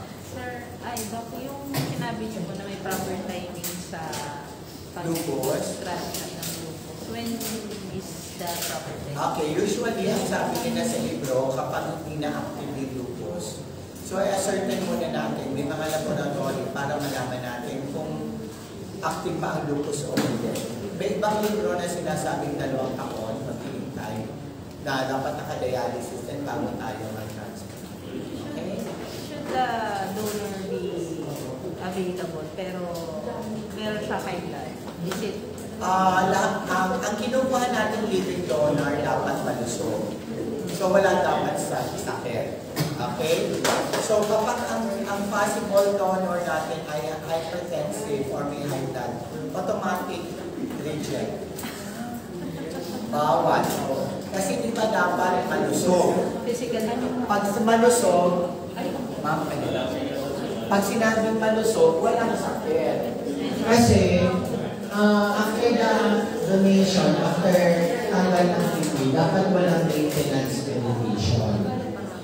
Okay, sinabi na ni Dr. Camilo, nagiging gamot lang niya antibiotic at saka pain reliever kasi naoperahan.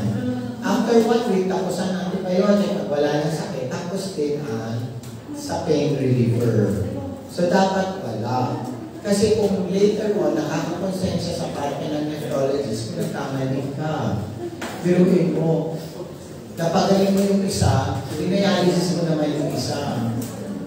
Di ba gandang negosyo, no? May pamali. Joke lang yun, ha? Baka sabihin sa FB Live, ako si Dr. Tan, mali po sa negosyo. Uh, anything else?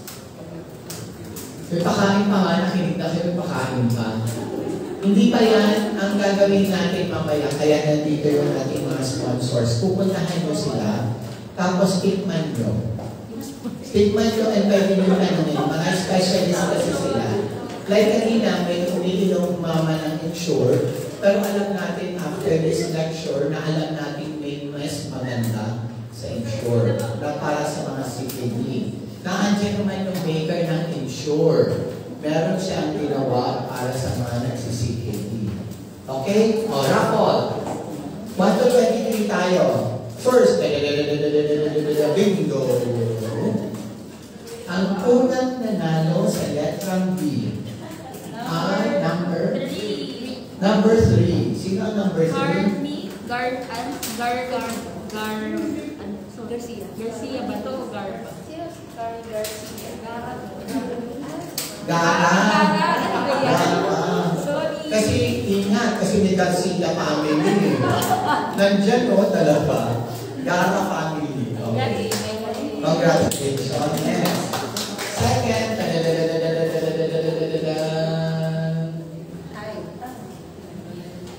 Alam nyo, alam nyo naman number yun. Kulbak man yung makakulay. Number four. Sino number four? Wow! Swerte. Okay, sana kita na ito. Next. Pag kayo mag-alala, blank yan, i-broom na lang. Sabi nila, breve. Breve po. 14. 14. Joseph Alonte. Ah, wow! Congratulations, sir. Oh, paglalagay ng creamer, paglalagay ng... Asukal. Go. Next po, KitKat. KitKat, ah, chocolate, high phosphorus. Di ba nasa dulo siya high phosphorus? Number Ah, kung tumatanggap ang dialysis ha, kung ayaw niya ng chocolate. Emma Sarmiento. Emma Sarmiento. Ayan, wow!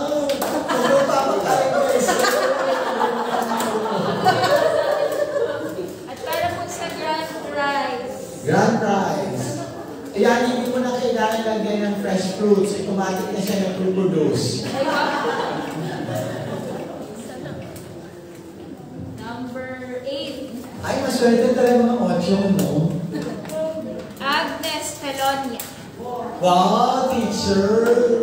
Hi, ma'am. Wow, wow. Tandaan niya, freshly prepared. Hindi kailangan ang fruit cocktail. Congrats po sa mga. Thank you po, Okay. Ma'am Olga. Okay, uh, i-end na natin ito, no? In behalf of the whole community ng Metro Health and in cooperation with the effort of our nutrition dietetics department and of course the marketing department, Ma'am Shea, uh, and sa ad board, marketing din, si Josh. Josh, kumakain ka na, pakilala ka muna. Yan, okay. And of course, our sponsors, Nestle, hi, Abot, hi, and Calve, hi, maraming maraming salamat. May sasabihin ka pa, ang huling pananalita. Um, maraming salamat po sa lahat ng nagpunta ngayong hapon.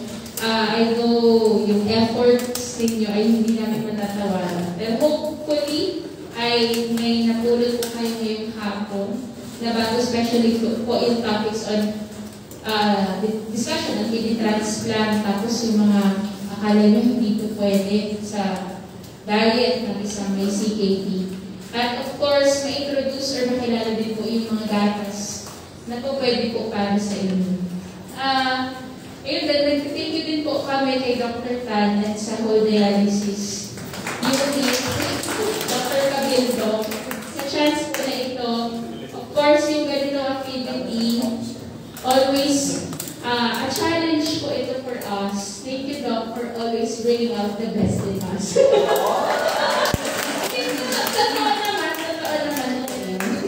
Thank you, Doc. So, magkita-kita po tayo sa susunod na Mag- Mag-iisip muna kami. Next year naman po ito. And, ayun lang po, huwag po kayong matakot kumain kasi ngayon, may, lam, kumbaga, di ba sabi nila, lamang ang may alam. ayun po. Thank you po. Okay, ang tema, ang tema ng Month ng Pilipinas na yun ay nasa likod. Oh, pabasa na dyan. Bato, malakas, okay, panibagong bukas. So gusto ko pag-isip natin yung mga wala na tayong katabing pasyente, gusto ko na transplant na sila. Ang panibagong bukas ng CKD ay ang araw ng pagka-transplant. The sooner, the better.